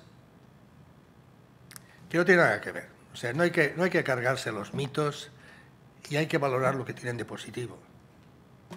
O sea, sinceramente, yo me he arruinado más veces que he ganado dinero. Pero no me importa, he vivido muy bien. A ver si entendéis el conjunto del tema. He disfrutado de mi trabajo y he disfrutado de mi vida personal y sigo disfrutando. Por lo tanto, estos son pequeñeces y a mis enemigos prácticamente los he enterrado a todos. Y si seguimos así, voy a enterrar a los que faltan. Sí, sí, gracias. Sí, una tercera cuestión. ¿Va bien? Sí. Eh, la más relevante, eh, o quizás para nuestra investigación, lo, la exposición que habéis hecho confirma un poco el esquema de resultado que estamos empezando a obtener. ¿no? Es decir, lo que pasa con las revistas de humor, es decir, que tienen un momento álgido en torno a la politización necesaria de la sociedad española en, la, los últimos años de Franco y los años de la primera transición y una caída posterior, que no afecta a todas, pero que afecta a las políticas, al, humor político, este tema es paralelo al de las revistas de información. Las revistas de información uh, hay, una, hay unas revistas políticas que son Triunfo, Cuadernos, uh, Destino, luego viene La Calle y esas uh, revistas políticas decaen muy rápidamente a distintos ritmos. hay unas hay unos semanarios de información nuevos, eh, encabezados por Cambio 16 y acompañado por Opinión, Posible, Doblón, Guadiana eh, y algunas más que ahora me irían viniendo a la, a la cabeza, ¿no? que tienen también ese posible. momento posible, posible, sabía que me dejaba uno importante, posible, que, crece, que crecen en los primeros 70 tienen un gran momento hasta el 77 y a partir del 78 decaen. ¿no? Y uh, de esas solo, solamente sobreviven dos. Uh, así como sobrevive el jueves en la revista uh,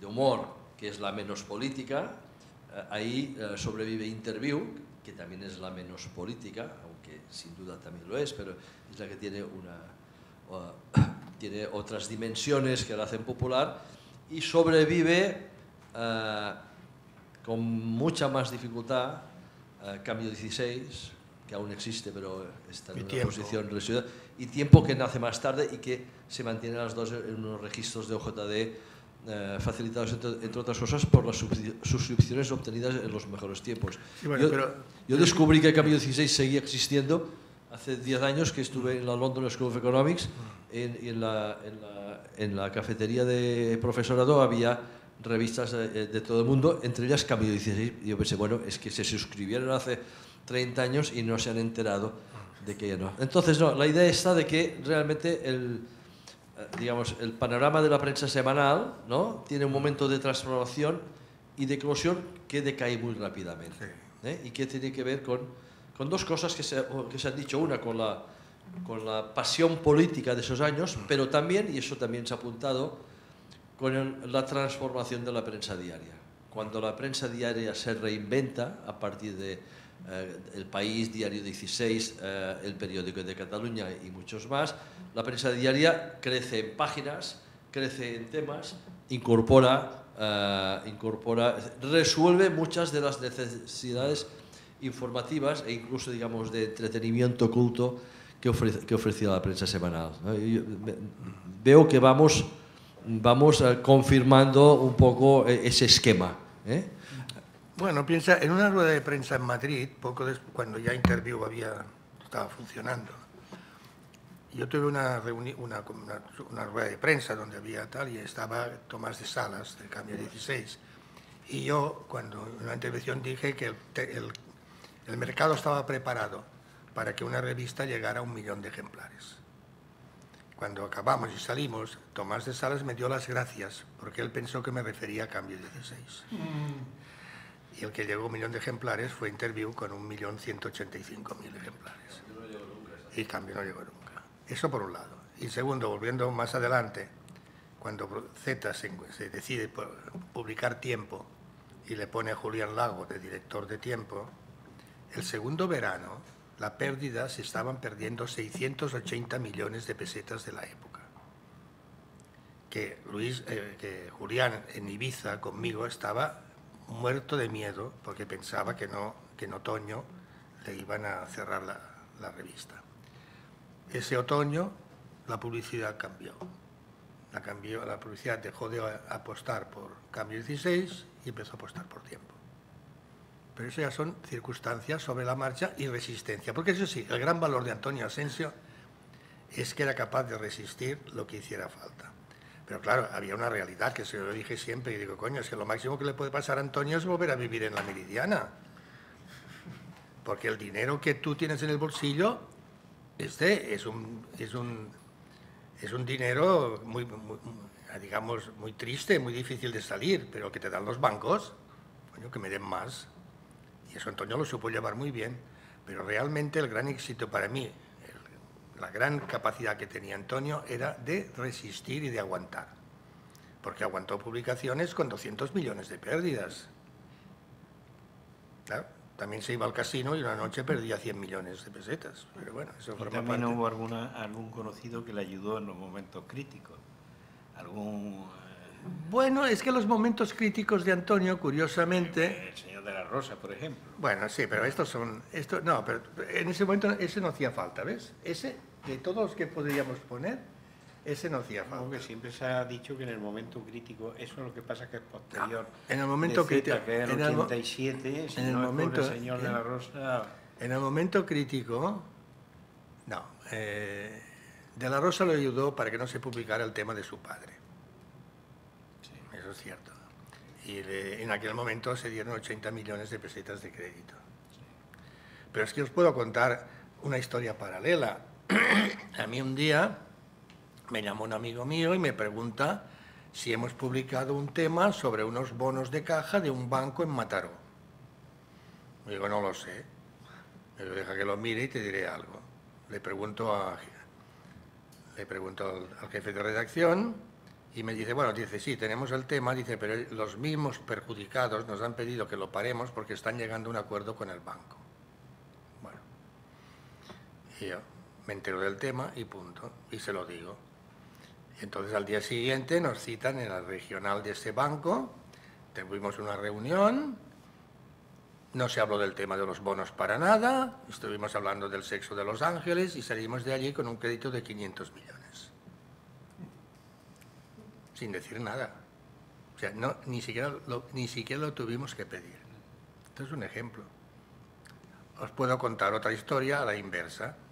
Me llaman en otra ocasión. En la época de interview, porque esa es mi época dorada en ese sentido. Es cuando había épocas muy, antes muy bonitas o después, pero esta tiene su, me llama un amigo mío también y me dice que hay dos editores de Barcelona conocidos que están muy enfadados por lo que hemos publicado sobre su empresa y sobre sus libros. Pero que antes de ponerle una demanda a Z, que porque no comemos juntos y hablamos del tema y bueno, muy bien. Y yo salgo para ir a comer, me, invitan a comer en el Finisterre, salgo para comer y Antonio me pregunta, ¿dónde vas? Yo digo, mira, voy a, a esto. Dice, ¿qué hemos publicado? Y digo, no tengo ni idea. Cuando venga ya lo miraré. Porque no, no me ha dado tiempo, no lo he visto, no lo sé. Ni, tengo idea. Llego a la comida, los dos hermanos, una persona más, mi amigo, tal. Aquello era un funeral. Pero un funeral, y que- porque parece mentira, que siendo tu amigo nuestro, que tal, de todo. Y a mí se me ocurre decir, oye, mira, la única cosa que puedo hacer por vosotros es que no se publique la segunda parte. acabe la comida, tú si eres un amigo, lo que necesites, a mandar, tal y cual. Vuelvo al despacho y Antonio me dice, ¿cómo ha ido? Y digo, pues mira, ha ido así. Hoy todavía no sé qué puñetas publicamos, no tengo ni idea. Ni lo miré entonces, Eran- eran de Lleida, ni lo hermanos. miré entonces, ni lo miré nunca más. Digo, los hermanos eran de Lleida, eran de Lleida. Editores de libros. De libros. Bueno, de un crédito, de estos de, bueno, te diré quiénes son porque están muertos. Crédito Editorial Sánchez. Igual, pero te digo, si es que no, es que no sé qué, qué publicamos, no tengo ni idea, ni, ni lo miré entonces ni lo miré después. Pero funcionó. Antonio lo aprendió de golpe, ¿eh? Bueno, en Madrid, dio por enterado de golpe. Hilario, en Madrid, y es un poco exagerado, siempre se comentaba que algunas veces ganaba más por lo que no publicaba que por lo Que que, por lo que se publicaba. Ahí ya no. Del de, ya los, no, ahí de ya los no. dossiers. Sí, sí. Ahí ya no entro. No, pero es... es-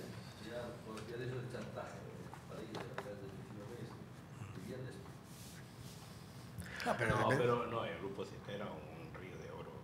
Eso Es que- es que- dinero. No, pero es que lo que pasa además es que en el grupo Z en ese momento, y sobre todo en Interview, es que no necesitabas ir a buscar las cosas, te las traían. Te, las llevaban. Que cualquier cosa, era, era, la redacción aquella era kafkiana.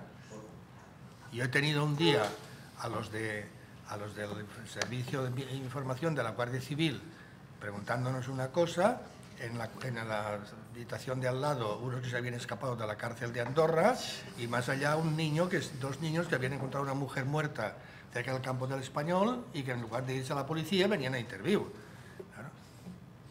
Esas tres cosas el mismo día y a la misma hora.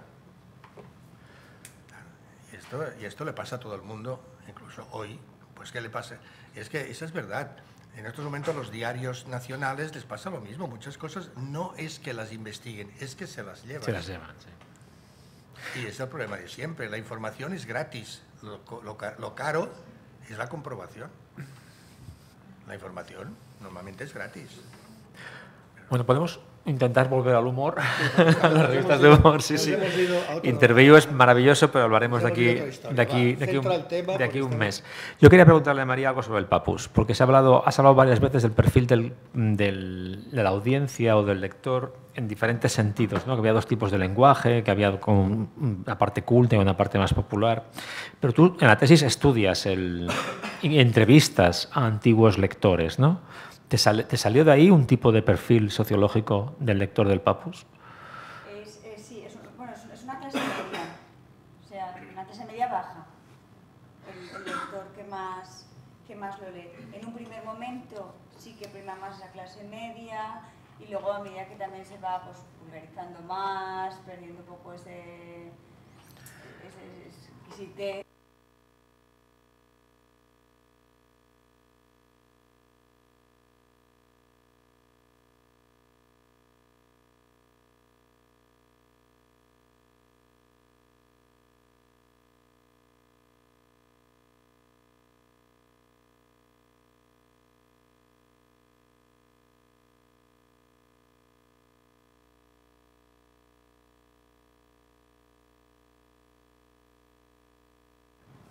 Y luego a, a toda la mesa, porque yo creo que nos hemos de enfrentar al, al demiurgo, ¿no? Y qui- quisiera que hicierais una especie de presentación de lo que en vuestra opinión es el papel de lo que sería después el Grupo Godó con relación a las revistas de humor, porque se da una coincidencia extraordinaria por motivos empresariales, por voluntad de comprarse Porsche o por lo que sea, de promoción de un sector por parte de un grupo.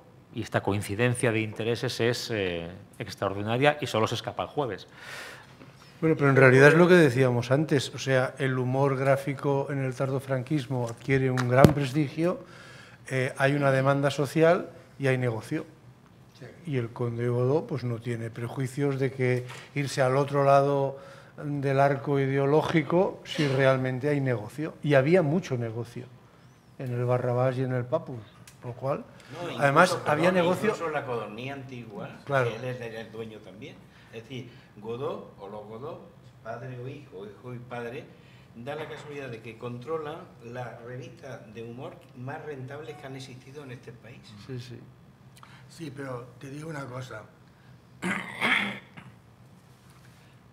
Hay un valor, un valor añadido.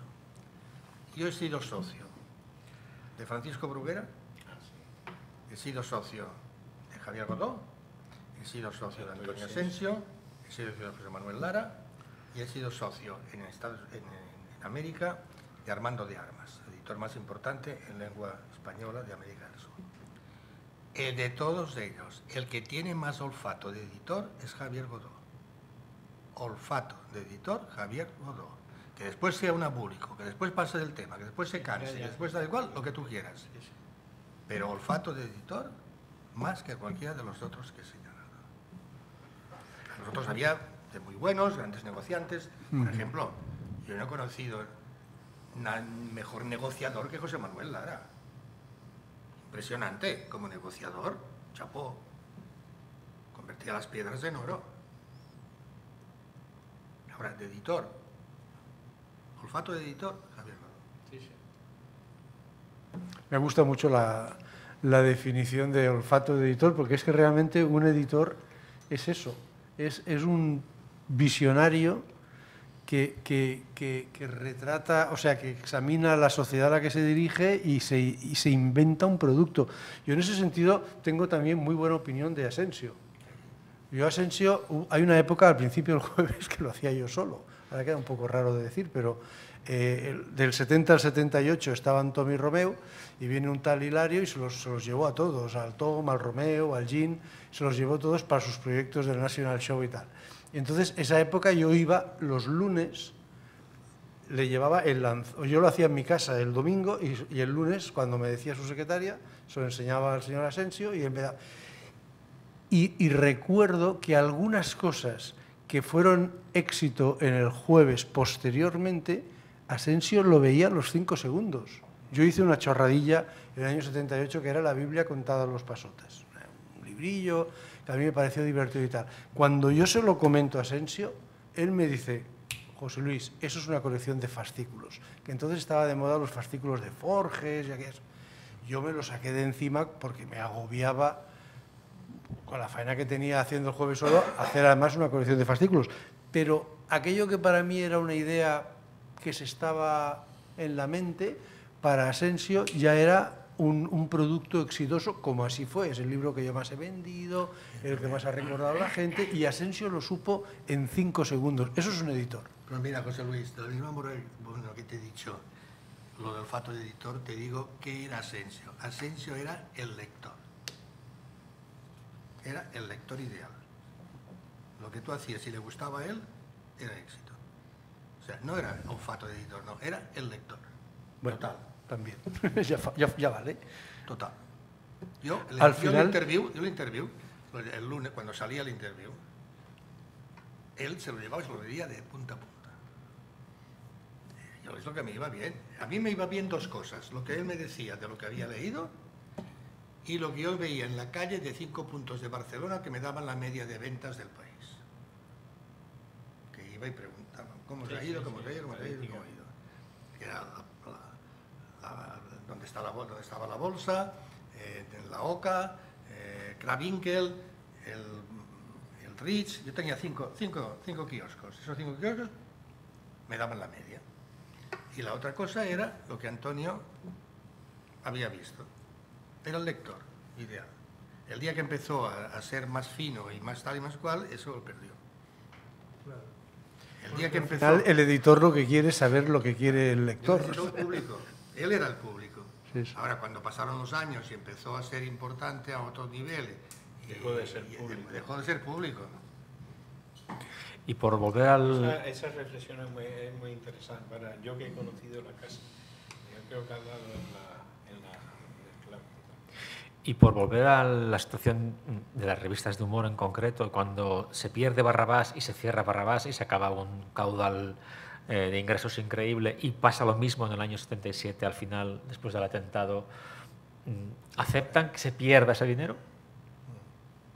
Es una resignación curiosa, es decir, llevan seis años eh, recibiendo una cantidad de ingresos inesperados que se hacen con una mano, es decir, realmente es un negocio muy sencillo, un negocio potentísimo, y aceptan que, esa- que se desvanezca. Es- es- también es llamativo.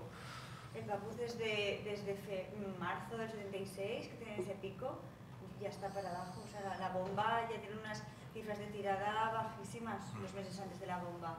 Pero bajísimas. Sí, bajísimas, que estamos hablando de un 70.000 ejemplares o... Bueno, bajísimas para lo que había. Claro. Mira, ¿sabes qué pasa, Francesc? Que ellos son los grandes editores de La Vanguardia, del gran diario catalán. Lo demás es lo que dicen los franceses, argent de poche. Sí, sí. El dinero bolsillo. Es dinero de bolsillo. Calderilla. Va, muy bien, muy qué bien. Me he comprado un Porsche. Oh, sí, qué estupendo. Tengo para una, una amiga más, no sé. Pero ellos era, era la vanguardia. Pues que la vanguardia era entonces un emporio con 1.500 empleados. ¿eh? No, no, y que con la página de, fa- de que los anuncios por palabras. Sí, sí, era- sí, era una mina de... El, una el mina otro de intento oro. sería el de la Codorniz, que ¿Qué? cuenta Fermín. Ese no, por lo que Ya. decía Sí, Francés, sí. de no hacen otro intento por crear otro producto. No, porque a él le gustaban unas cosas y las defendía. Pero son dos distintos, o sea, es Javier y Carlos, es decir, el Javier... Sí, no, el no, y el hijo. padre y el hijo. Mira, para darte una idea, a mí me llama Javier y me dice, y me, estaba me enseña en su mesa, me enseña el Times. Y dentro del Times estaba el dominical del Times. Dice, ¿por qué no? Dice, ahora la vanguardia va a subir el precio una peseta que no nos hacía falta. Dice, ¿qué te parece si hacemos esto que hace el Times, un dominical? Digo, me parece muy buena idea. ¿Vale? Bueno, eso es una asignatura pendiente de la vanguardia. Toda la vida no ha conseguido un, un buen dominical. Es cierto. No ha habido manera. Era todo un anuncio. Era una mierda de dominical y sigue siendo una mierda de dominical. Pero bueno, está ahí. Pero la primera idea de hacer un dominical, Javier. Yo le digo, muy bien, pues me lo preparo, empezamos a estudiarlo tal y cual. Y al cabo de un día o dos, me llama el que entonces era el gerente de la vanguardia y el abogado de la vanguardia, y me llaman los dos a la biblioteca de la calle Pelayo.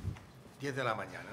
Y me dicen textualmente, ¿tú estás con nosotros o contra nosotros? Yo digo, yo estoy con Javier. Y como supongo que vosotros también estáis con Javier, pues estamos en el mismo barco. 15 días más tarde, estaba fuera. yo. ¿Vale? Javier quiso, eh, eso lo viví yo, quiso meter Gaceta Ilustrada, que todavía funcionaba, como dominical de la Porque. Gaceta Ilustrada estaba en los proyectos que yo tenía que evaluar y rehacer de nuevo y ya no me llegó. Pero bueno, son- Volviendo, humor. volviendo a los lectores, yo siempre he tenido la sensación a lo largo del tiempo de que los lectores de revistas de humor son los lectores de revistas de humor. Quiero decir, em, sí, yo, además cuando este hombre me encargó lo del jueves y se fueron Tommy Romeo y me quedé ahí solo, yo era un joven sectario que tenía una idea muy sectaria de cuáles tenían que ser. lo- Pero como me fijo, yo de repente me llegaban cartas de gente que le gustaba Oscar y Peric. Eso no puede ser. Oscar era el humor populachero, señoras con unas tetas así de grandes, el Peric era el humor intelectual, y sin embargo había lectores que le gustaba. Entonces aprendí, y eso es lo que yo creo uno de los factores que ha servido para que el jueves dure tanto tiempo, en que, ah, no había un lector tipo, había un lector que tenía una sensibilidad especial para el humor gráfico y que podía ser... Y B, que a la gente le gustan cosas muy variadas y que lo que yo tenía que intentar era hacer un puzzle de tal manera que siempre hubieran los suficientes elementos eh, válidos, porque no les gustarían todos, pero por lo menos, y lo que intenté siempre fue hacer una revista puzzle.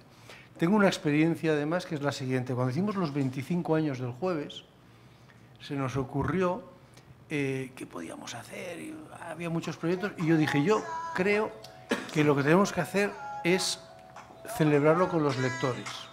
Celebrarlo con los lectores quiere decir, celebrarlo con los lectores quiere decir que hicimos un pequeño concurso en el que pedíamos lectores que tuvieran la colección entera del jueves desde el número uno, a los 25 años, ¿eh? que ya tenía un cierto mérito.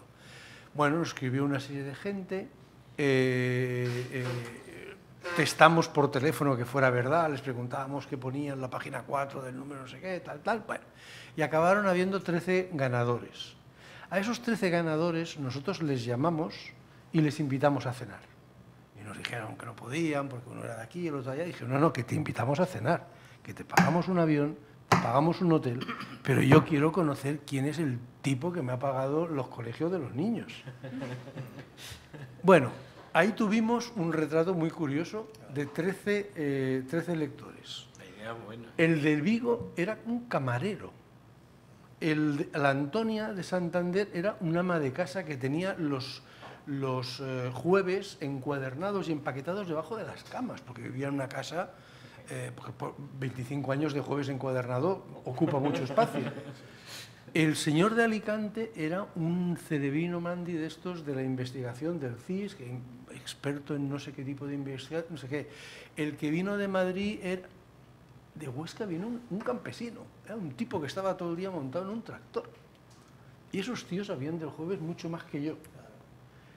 Y eso confirmó mi teoría de que hay un cierto tipo de gente que tiene una especial sensibilidad para esto y que me es muy difícil clasificarla por... Yo me caí del caballo un día que estaba en el Paseo de Gracia, a principios, cuando aún era sectario, y vi que paraba un cochaco y vi salía el chofer y abría la puerta, cosa que solo había visto en las películas americanas. Bajó una señora pi, pi, pi, con su abriguito de pieles, se fue hasta el kiosco y compró jueves.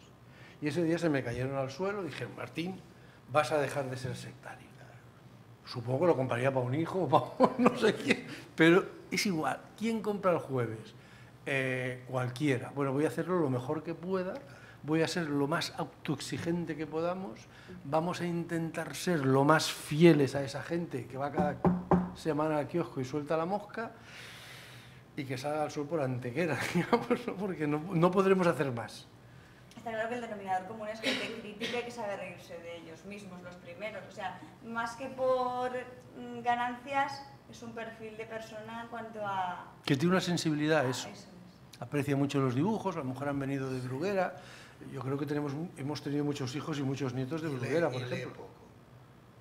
O sea, lectura, lectura, Poca, poca. poca. En el jueves textito poco, ¿eh? Por eso te digo Pero el papu sí que tenía. Mucho, y además el papo Sí, pero tampoco tanto. Pero eran conscientes de que no era, pero era consciente de que no era leído, ¿eh?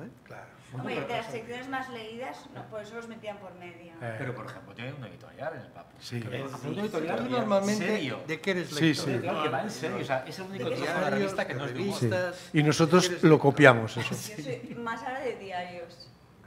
Y, y, bueno, ¿Y? y programas de humor, pero de televisión. Yo, por ejemplo, yo soy lector de diarios y de libros, no soy lector de revistas. Es que no leía ni las mías. Porque tenías muchas. ¿Qué? No, es- no es broma, José Luis, es que llega un momento... ¿Qué? Yo soy lector de diarios y de libros. Pero yo soy la misma que como las miro, investigadora, las miro. lo primero que me iba a cada revista era a la, a la historieta. Y Claro. luego ya analizo los textos. Centremos los micros y estas cosas. Pero, pero entonces, eh, ¿cuál es la, la clave del éxito? Porque estamos hablando de... Primero habéis hablado, ya no recuerdo quién de vosotros, de que hay una especie de escuela madrileña y una escuela eh, eh, catalana. Que me gustaría que me precisarais un poco... ¿eh? Barcelonesa, que me precisarais un poquito más mm, rasgos o características con las que... Porque yo no, no, no soy, ni era entonces demasiado lector de este tipo de... Yo leía Hermano Lobo, ¿no? Y conocía otras, pero no tenía colecciones, ¿no? Por eso me gustaría que me dierais alguna pre- precisión de esta diferenciación, ¿no? Pero luego habéis hablado de otra diferenciación entre un discurso humorístico más eh, intelectual, más eh, tipo Le Canal en Chainé, frente a otro más popular o populista. ¿no? Y que parece que las que han sobrevivido más tiempo estarían en este otro registro. ¿no? Pero luego eh, Jaume ha hablado de un paralelismo con las revistas políticas que introduce una- un factor nuevo. Ya no es solo el lenguaje. Entre las revistas políticas, las que eh, sobrevivieron, murieron pronto las políticas políticas y sobrevivieron Cambio 16 y, Interview. Yo creo que en el caso de Interview, porque, porque nuevamente el lenguaje eh, era diferente. Era un lenguaje que yo mm, creo que podríamos calificar, y en eso estaría un poco emparentado con las revistas eh, de las que estamos hablando aquí, de, humor, más que, más que ser sobre política, era antipolítico. Es decir, era una actitud, en un momento de crecimiento de la importancia de lo político, resulta que las revistas que van a aguantar más tiempo son las que tienen un lenguaje populista o popular y un, y un discurso más antipolítico, más crítico con lo político, más sarcástico hacia lo político y menos cómplice de lo político. Sí, pero yo no olvidaría el factor de que la gente que lo leía es que le gustaba que le explicaran historias narradas gráficamente. O sea, al final el jueves lo compran porque son fans del Oscar, porque son fans del IVA, porque les gustan las historietas de Martínez el Facha, les gusta que les expliquen historias en, en gráficamente y admiran a esos dibujantes, que este es un factor muy importante.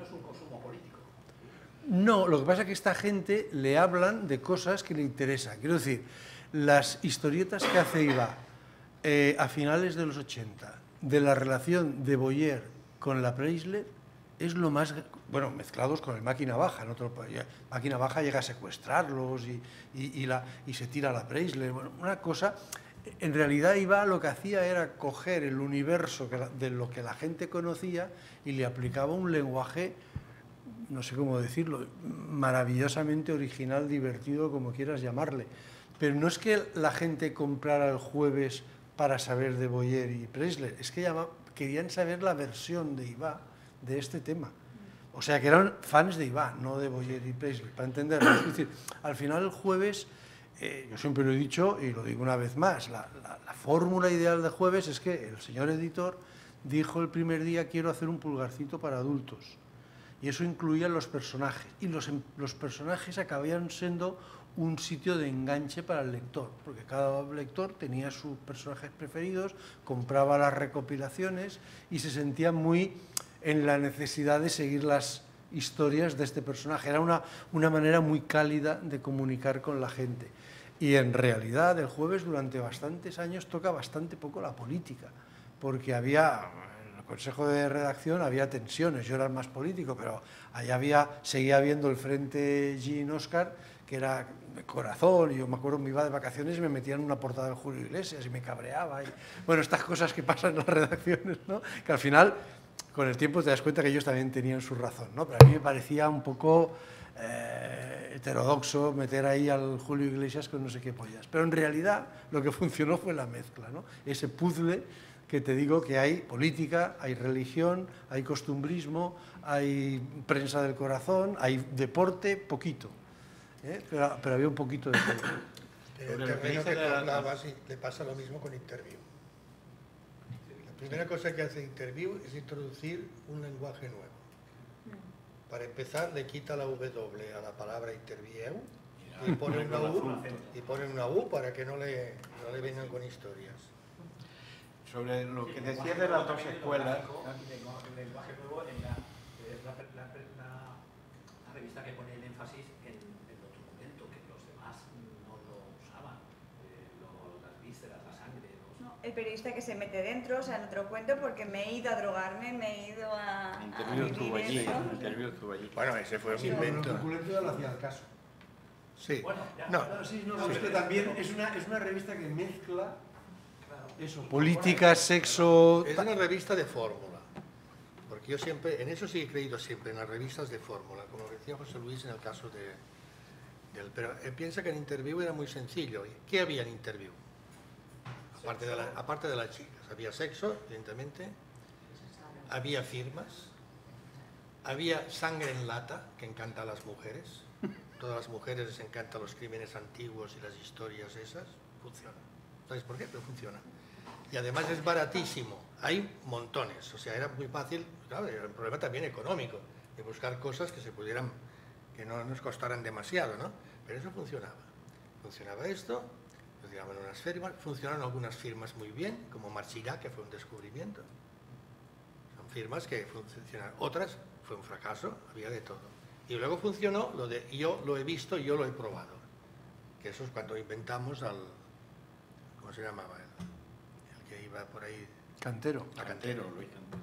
Cuando cantero. Interview estuvo allí. sí. A mí la gente me decía, es que yo esto lo he visto, yo lo he hecho, y si esto es verdad, el resto es verdad.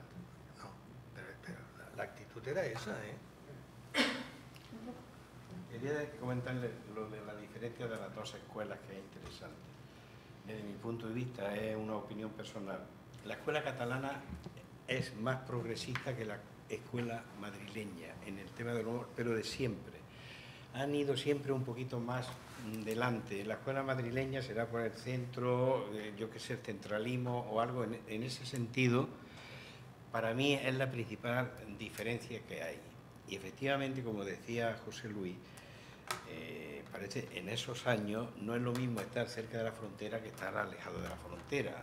El hecho de estar cerca de la, cerca de la frontera tiene más posibilidades de salir, de contactar, comprar libros prohibidos, ver, eh, como decía, tal. y en Madrid, sin embargo, es un poco más complicado. ¿no? Sí. Exactamente, pero... sobre ese- todo la distancia que había hacia Claro, la libertad. Claro, y todo el mundo no tiene ya. Aquí puedes coger el coche y te en dos horas te metes, o, o en menos, ahora con los autopistas. No, pero entonces, entonces se organizaban excursiones. Los fines No, de claro. semana, se- los del banco se iban en autocar a, a ver películas, a comprar libros y hacer. Y eso significaba que veías el Charlie Hebdo y el Araquiri. Y en la forma de dibujar, en la forma de, de guionizar las historias también. También, también. También. Copian sí. ideas. Es que Peric, su modelo cuando empieza es cine, y, y Cesc es André François, y, y, y, y Oscar Iba están locos por hacer el Araquiri. En Barcelona el más intelectual que tenemos es Cesc. Exactamente, Claro. que le está saliendo por ahí. Cesc es de largo el más intelectual. Poeta. Tiene, es un muy... Sí, sí. Pero Madrid, en cambio, la mayoría son tipo Cesc, empezando por Lingote. Además, vienen de una escuela. un- claro, diferente, ¿no? vienen de una escuela un poco codornicesca, porque es el humor absurdo este, que, que la dictadura de Franco solo de lo- que, lo- no. de lo que- vive Forges todavía. Digamos, el absurdo intrascendente, eh, cosas absurdas y tal, irregulares. Sin embargo, lo- eh, el, el dibu- el dibujante o, o los grafistas, o como quiera llamar, catalanes, empezando por los cómics, empezando por Uribe y tal, siempre, eh, empezando incluso con los, yo qué sé, la 13, la Rue del Percebe, todo este tipo de cosas. Hay, hay un componente siempre más social, más... eh, más- y sobre todo en el Papu, más de la calle, que no dan los demás. Cesc hizo una contraportada del Por favor, no sé si la recordáis, que es un sello de correos con el busto de Franco, pero de Sí. Sí, Toda la página no la era- tengo, pero me Era recuerda... una página de sellos, todos sellos, y era el busto de la cabeza de Franco, en lugar de Sí. cara, de espaldas. Sí, Eso no es lo importante. Yo he recibido una carta matasellada con ese sello. y correo ha pasado. Y un poco por mediterranizar la idea, porque ahora la Escuela de Madrid, la Escuela Catalana, por ejemplo en Valencia también hay mucho talento. Yo creo que la suerte que habéis tenido es que habéis tenido editores, una burguesía editora que ha apostado por eso. Porque eso yo creo que es un peso también importante, porque allí en la transición teníamos a Manolo Jardí, a Emily Piera, a Arca, pero creo que no han tenido ese apoyo económico de, para llevar a cabo proyectos interesantes, y eso aquí sí, siempre. Lo que está claro es que creo que eh, he, he recurrido al artículo que escribí en el Argonauta, porque yo creo que es una idea fundamental en esto que estamos hablando, ¿eh? del tema de la prensa satírica. ¿Cómo está el ciudadano español después del, del atentado de Carrero Blanco? Es decir, cuando realmente empieza la transición, que llega al famoso tema que es del espíritu del 12 de febrero de Ana Navarro, y y ahí está. ¿Cómo está? Pues por supuesto está, ya eh, eh, ha entrado generaciones jóvenes con ganas de cambiar, de cambiar algo, ha habido de cambio, de cargarse la dictadura, si me apura, ¿no? Entonces, desde ese punto de vista, este ciudadano que está ávido de cambio, ¿eh? en todos los aspectos, en el aspecto político, en el aspecto social, en el aspecto de, en todos, ¿eh? encuentra en esa prensa satírica lo que busca. Es decir, mm, sale hermano Lobo con el tema del humor negro, el tema social y tal. El, por favor, con el tema político. El Papu con el tema de la agresivo, etc. Es decir, los cambios, esa es la, digamos, la, la conclusión desde mi punto de vista más importante que tiene la prensa satírica de la transición o de esos años. Y es que El ciudadano encuentra lo que quiere el ciudadano. Estábamos hablando de tal. Se han dado cuenta los editores de Por favor, del Papu, de Hermano Lobo, por citar las tres, realmente que son las rupturistas, porque la codorniz ya está, digamos, en la, en la última etapa y prácticamente no interviene nada. Además, la codorniz siempre recuerda al franquismo, siempre. Eh, Entonces, nosotros intentamos cuando hicimos la codorniz con- romper con esa idea y esa también, se me ha olvidado comentarlo antes, otra de las causas por lo que no acabó de encajar idea es que la codorniz estaba, el nombre de la codorniz estaba relacionado con el franquismo. A lo mejor si le hubiéramos puesto otro nombre, el gacetón, que era el que íbamos a sacar con, a lo mejor hubiera, a lo mejor hubiera funcionado. Fíjate lo, eh, lo que quiero decir.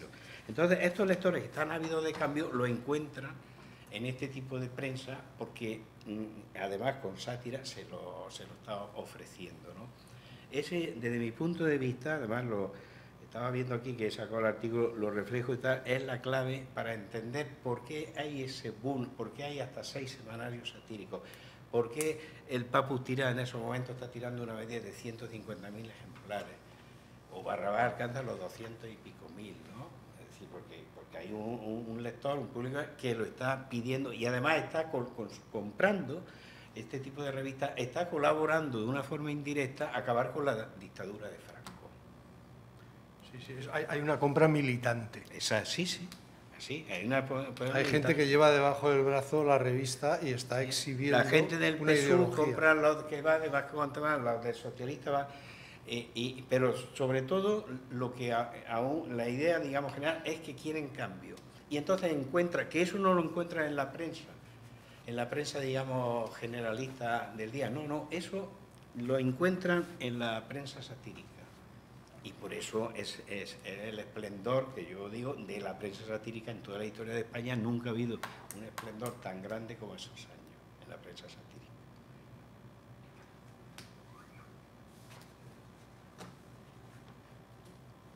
Buenos días. Eh, un par de comentarios, ya casi estamos fuera de, de tiempo.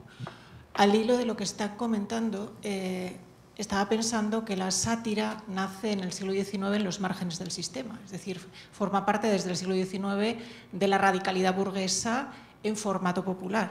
El pobrecito hablador de, de Lara, que digamos... Y toda la prensa del sexenio, es decir, es una, es una prensa que encuentra en lo icónico y encuentra en el formato popular el vehículo idóneo para expresar una radicalidad que no es popular, que es una radicalidad burguesa. En relación a este periodo glorioso del que, a- al que se están refiriendo, sí me gustaría eh, trasladarles un, bueno, pues, eh, una impresión, sencillamente, y es el hecho de que entre el 73 y el 78 tengo la impresión, pero ustedes me lo confirmarán o desmentirán, de que la, sátira e- efectivamente vive muy bien en los márgenes del sistema, del sistema político, no del sistema capitalista, que está perfectamente integrada, pero a partir del, del 78 sufre un proceso de institucionalización, es decir, sufre un proceso de acomodación o de integración dentro del sistema que la hace perder atractivo. Y no sé si a partir del 78 la sátira queda reducida, eh, honorablemente, pero reducida a un género de entretenimiento. Un género de entretenimiento en el que la transgresión ha sido sustituida por la provocación. Entonces, yo creo que ahí se descuelga mucha gente.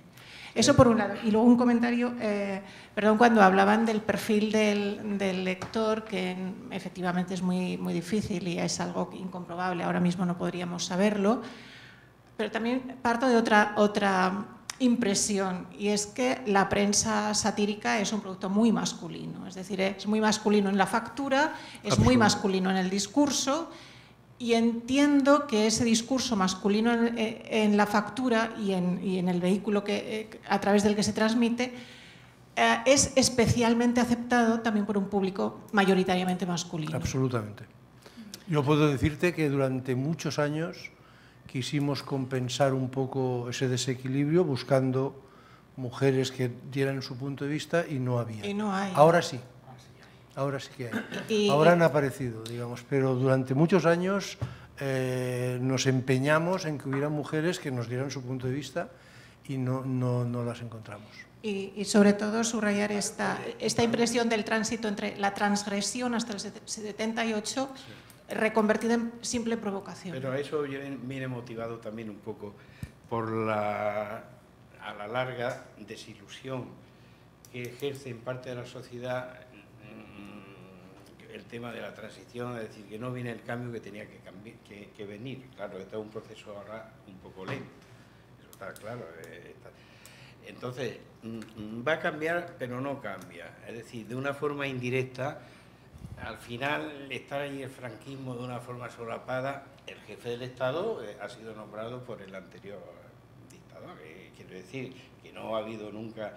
Y entonces se produce cierta desilusión en parte de la sociedad, sobre todo ya a partir, yo diría, alargaría, dice a 78, tú, no, al, al 83 y al 84, porque todavía hay una oportunidad después del golpe de Estado. ¿eh? Felipe González, con 202 diputados, podría haber cambiado todavía algo más este país. Entonces, ¿qué ocurre? Que empieza a haber ya en capas de las so- eh, sociales ya cierta desilusión por la que no ha venido el cambio que tenía que venir y eso, como es lógico, también trasciende a, a- no solo a la prensa satírica, sino a la prensa generalista y a la prensa de tal. Y, y- la pe- la prensa se acomoda porque se, se, se me- se integran, en, No, es digamos, en, en el transición- nuevo. Claro. la transición ya no está prohibido, ya es fácil. Como, por ejemplo, tú hablabas antes del feminismo. Maruja Torres, que es la única persona integrada en esa época, tiene que disimular. Porque ella puede ser todo lo feminista que tú quieras ahora, pero en el momento que trabaja con nosotros, va, va- aparentemente es tan machista como el que más. Sa- Salvo Nuria Pompeya. ¿Eh? Salvo Nuria La, Pompeya. salvo Nuria Pompeya, Sí. que por eso no le hacen caso. Exacto. Sí, sí. Y además, por eso Solamente está ¿Estás de acuerdo o no? publicada 30 años antes de lo que... Va, Nuria, vale, va, pon un dibujito aquí, pero nadie se lo mira. Lamentablemente es así. Es verdad que el porcentaje de lectores que yo analicé, el 80% hombres, 20% mujeres. Sí, sí. O sea, que Y tanto. lectoras- Pero es que cuando, cuando se Sí, desarrolla... que- y hay mucha ama de casa, ¿eh? Como señalaba... Que sí. Antonia, que sí, que sí. Antonia de Santander. Antonia de Santander. Seguro. Mm, No lo sé, ¿eh? a veces eran ellas mismas. Nosotros, nuestras encuestas nos dio siempre 75-25, 70-30. Sí, es- no sé, a ver, eh, no, era muy científico. ¿eh? Nosotros siempre con los extras hacíamos unos sorteos interesantes y, recibíamos mucha, mucha, porque teníamos mucha interacción.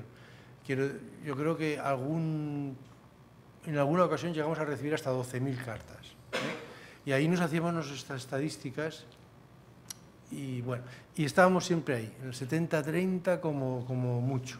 Oye, Interview más, ¿eh? Prácticamente un 40% de mujeres. Mm. Pero no de compradoras. No, pero también te digo una cosa. ¿Quién compraba el Ola? Nadie. Nadie. Nadie, nadie compraba el Ola. nadie compraba el Ola. Pero era la primera revista ¿eh? del país. Oye, yo el día que vi en el aeropuerto de Madrid, en el puente aéreo, a un señor comprando Cambio 16 y Emanuel, y metiendo a Emanuel Sí, sí, en sí, medio, dijo, esto ya, Hay mucha, sí, sí, ya sí. está ganado, tenemos el campo libre. Sí, sí, sí, sí. Hay mucho, eh, Lo de Lola, justamente, lo de Lola es demencial. Tú una encuesta, nadie, nadie le sí, sí, sí. Bueno, y, y en las revistas de humor de la transición hay, eh, está claro que hay unas que cardan la lana, unas se llevan la fama y otras cardan la lana. Finalmente la, la gran revista la que vendía era el Papus y el prestigioso lo llevó todo por favor. Exacto, sí, sí, Y aquí se siguen hablando del por favor, que no compraba nadie, o compraba muy poca gente. Y en cambio el Papu siempre hay como una falta de reconocimiento de una gente que, en mi opinión, además hicieron una, una labor No, no. valiente y, y gente de arriesgada. despreciando al papo. Sí, sí, yo sí, sí. No, no, de hecho la Maruja me dice, es que es como cuando te ofrecen fruta tal y me fui corriendo a por favor. O sea, Sí, sí, sí, ella sí. misma. Y gente analizando, de estoy analizando el papus y te miran como... Sí, sí, es- esto es así. Y no solo ocurre en las revistas de, de humor en este país, ¿eh? pero hay mucha hipocresía con lo realmente eh, se, se- se consume y con lo que se dice que se consume. Y un poco de representación social. Sí, pero Ya han de ver comprar un Eso es. Todos vemos la 2. Sí, los- los documentales, de la ¿no? 2. Sí, pero luego esa noticia de Telecinco todo el mundo la ha visto. Sí, sí, sí. Yo me acuerdo en el, en el- en el jueves, eh, claro, ahí todo el mundo ve, hostias, cuando empezaba alguien a hablar del tomate, casualmente aquel día lo había visto todo el mundo, ¿no? Y piensas, hostia, es que esto es así. Desde dentro sois conscientes de que a partir del 78 se vivió un proceso de acomodación y de Yo integración. diría un poco más tarde. ¿eh? Un poquito más tarde, a partir Yo del diría, a 82. partir, yo diría a partir con la llegada de Felipe González después del golpe de Estado. Y a partir de ahí se neutraliza la, agresividad y la con la transición al destape fue tan brutal. ¿Sabes lo que fue? Que fue de, de la noche a la mañana, es que fue una barbaridad. Y En, en el único país donde pasó a esa velocidad. Oye, yo te pongo un ejemplo. Yo tengo firmado el contrato de Playboy, el contrato de Penthouse y el contrato de Hasler. Y el de Louis. Las cuatro grandes revistas, incluso en, en más fuerte, más fuerte, más fuerte, para diferentes momentos, yo participé en los cuatro contratos. Playboy, Playboy se murió antes de salir. Y había, sobre, ya la- había sobre, lo habían sobrepasado, pero sobrepasado, pero por ello, por todas partes. Es que este país... Era casi cursi. Era Sí, cursi, sí, sí, era- sí, no, sí. Pero No, no, cuando- hay represión, cuando hay prohibición, ¿no? Claro, claro. es así, oye. Sí, en el momento Mira, lo legalizan institucionalmente. Claro, iba, iba una vez me hizo- cuando hay normas morales, normas sociales, pero normas sociales, no, eh, Sí, valores sociales dominantes, y eso no se da.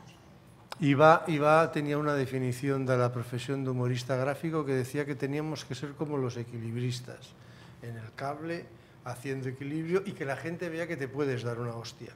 Pues que- Bueno, pues a partir del ochenta y pico ya no te dabas la hostia. Ya no había peligro. En cambio, iba, tuvo consejos de guerra, que ahora nos hace unas risas, pero tener un consejo de guerra en el año 73, bueno, él lo contaba muy divertido. La gran contradicción en- de este tema que hablamos es la primera revista que, que saca un torso desnudo de mujer es una revista política. Guadiana, cuando sacó a Nadiuska en el mes de marzo del 76, a pasos históricos. Es decir, que no fue, ni siquiera fue, el interview no existía todavía, ¿no? Pero Pero ni siquiera era fue el mujer ni fue el... desnuda. No, desnuda el Papu. No, Sí, ahí había una desnuda. algunas sí, pero no... Es De, de lo más desnudo, yo recuerdo ver al Papu, una señora que en la portada la habrás visto, que te- y dice, y dentro sin manos. Ah, Hay- sí, hay- que se Y tapa la- el y pecho. luego- Sí, en pero, pero después, unos meses más tarde, hay, hay cuatro o cinco totalmente desnudas. No, que es pero cuando eso ya, pero es que, es que ya, eso ya salió en la diuca, en el Guadiana. La primera señora que sale, en- solo, solo el torso, El ranking, en, ¿eh? en- en una revista Eran, política. eran momentos de confusión, porque la primera Claro. entrevista que se hizo en este país a Carrillo, que estaba en la clandestinidad, salió en el Matarratos. No, y, no, no se claro, enteró nadie, sí, porque sí. era como una revista de dibujitos, pero le fueron, supieron dónde, le- la entrevista, eh, Carrillo se movía con peluca por Madrid y no sé qué historias. 76 entonces. Sí, sí. O sea que eran momentos de confusión. Sí, incluso además fue como, como, como sector, fue un sector que tardó, tardó tiempo en tener conciencia de sí mismo y de pensar en sí mismo, ¿no? Es decir, todo era como muy improvisado, muy... Absolutamente. Había que inventarlo todo, porque todo estaba por hacer. Claro. ¿no? Y realmente...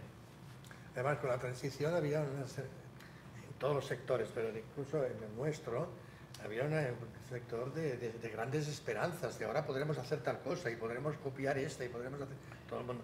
Yo recuerdo con Antonio Sencho sentarnos y repartirnos el mundo. No, no, pero no es broma. Yo cojo Newsweek, tú coges TEM. Eh, Tú coges esto, yo cojo lo otro. Bueno, era, era- era ridículo. Pero quiero decir, eh, claro, todo el mundo estaba... Y, y- y- y te insisto, no en plan creativo, sino en plan de aprovechar los grandes productos, ¿no? Esto no, tiene nada que ver de la- con, la, con la prensa diaria, esto es completamente distinto, ¿no? Son ámbitos que de Y una... en el humor, en el humor era igual, o sea, nuestra ambición era, como la de Iba era tener un Charlie Hebdo, o tener un Sarné, el de Chini mío era tener un National Lampoon. Sí, sí. Si hacíamos otra cosa, es lo que dijo un día Umbral, que Interview era un Playboy para pobres. Pues sí, algo así. ¿Qué? Y entonces el de Manuel, ¿qué era? Porque Bueno, Manuel era bueno, lo de Manuel, lo de Manuel. Lo de Manuel es un caso para explicar. Teníamos la salida de interview, tuvimos la suerte que empezó a venderse muy bien, muy bien, muy bien, lo que tú quieras, y la imprenta, hablando en plata, se acojonó. Que era la factura, ya era mucho dinero, que, que- y nosotros no teníamos cómo hacemos. Y le ofrecimos a la imprenta una participación, y bueno, este, es el tema. Y nos vamos, Antonio Asensio, su mujer, mi pareja y yo, nos vamos a Canet Plage a cenar y al casino. Perdemos las 3.000 pesetas De rigor. de rigor y regresando, ¿y qué podríamos hacer? ¿Qué podríamos hacer? Y yo le sugiero, digo, mira, podemos hacer una cosa, voy a hacer una cosa, mañana te la presento. Y se me ocurrió lo de Manuel. ¿Y qué era Emanuel? Emanuel era una colección de chistes, una serie de chicas más o menos en pelotas, y después ya había una historieta de, de- que era Blancanieves y los siete enanitos porno, que era de un editor italiano. Italiano. Un editor que al cabo de un par de años él y yo recuerdo estar en el despacho de Antonio y el, y el editor le decía, tú, y me me decía, este y yo te hemos hecho rico. y la verdad. Entonces, con eso montamos un tinglado y se llamaba Emanuel. Salió de junio a octubre. Nada, seis meses. Sí, pero bueno, ¿qué seis Y en esos seis meses, esos seis meses se ganaron 45 millones de pesetas. Y cada semana, cada semana, en Madrid, el juez nos la secuestraba. Pagábamos 10.000 pesetas a un ayudante del juzgado y tardaba una semana en llegar el secuestro a Barcelona. Cuando llegaba el secuestro, Ya estaba, ya estaba la siguiente, ya y estaba la siguiente en la calle. Entonces, al cabo de seis meses, me llamó el José Luis Fernández de Madrid, el director de Madrid, y dice, oye, esto no puede ser. Quiero el 15%. Más o menos. ¿Qué quieres para cerrar esto? Le dije, pues mira, que no me tocáis las narices en interview, que me dejéis más permisividad en interview, y, y eso es lo que pactamos. Pero quiero decirte que eso salvó una, una- esto es aquello, se moría de éxito. Si no, si no hacemos, si no hubiéramos tenido esa suerte, se nos hubiera ido de las manos. Entonces los secuest- secuestros también daban humo, también daban... de que los secuestros daban... Era muy interesante, Iba la gente dinero. preguntando, ¿tiene la revista? Porque luego se encuentran los relativos y respondían los cuando, cuando era, cuando era gobernador Rosón en Madrid, hubo un secuestro. Y es el único secuestro por el que yo he ido al juzgado. Porque secuestraron la interview y Antonio Asensio estaba de vacaciones en Canarias. Y no me dije nada. Simplemente el lunes no salió interview y el miércoles salió interview y la portada era por, por Rosones. ¿Te acuerdas de eso? Salió por Rosones. Bueno, Muy bien. Bueno, creo que ha sido una mañana intensa, de mucha información, de mucha reflexión. Nos lo hemos pasado muy bien, hemos aprendido muchas cosas. Muchas gracias.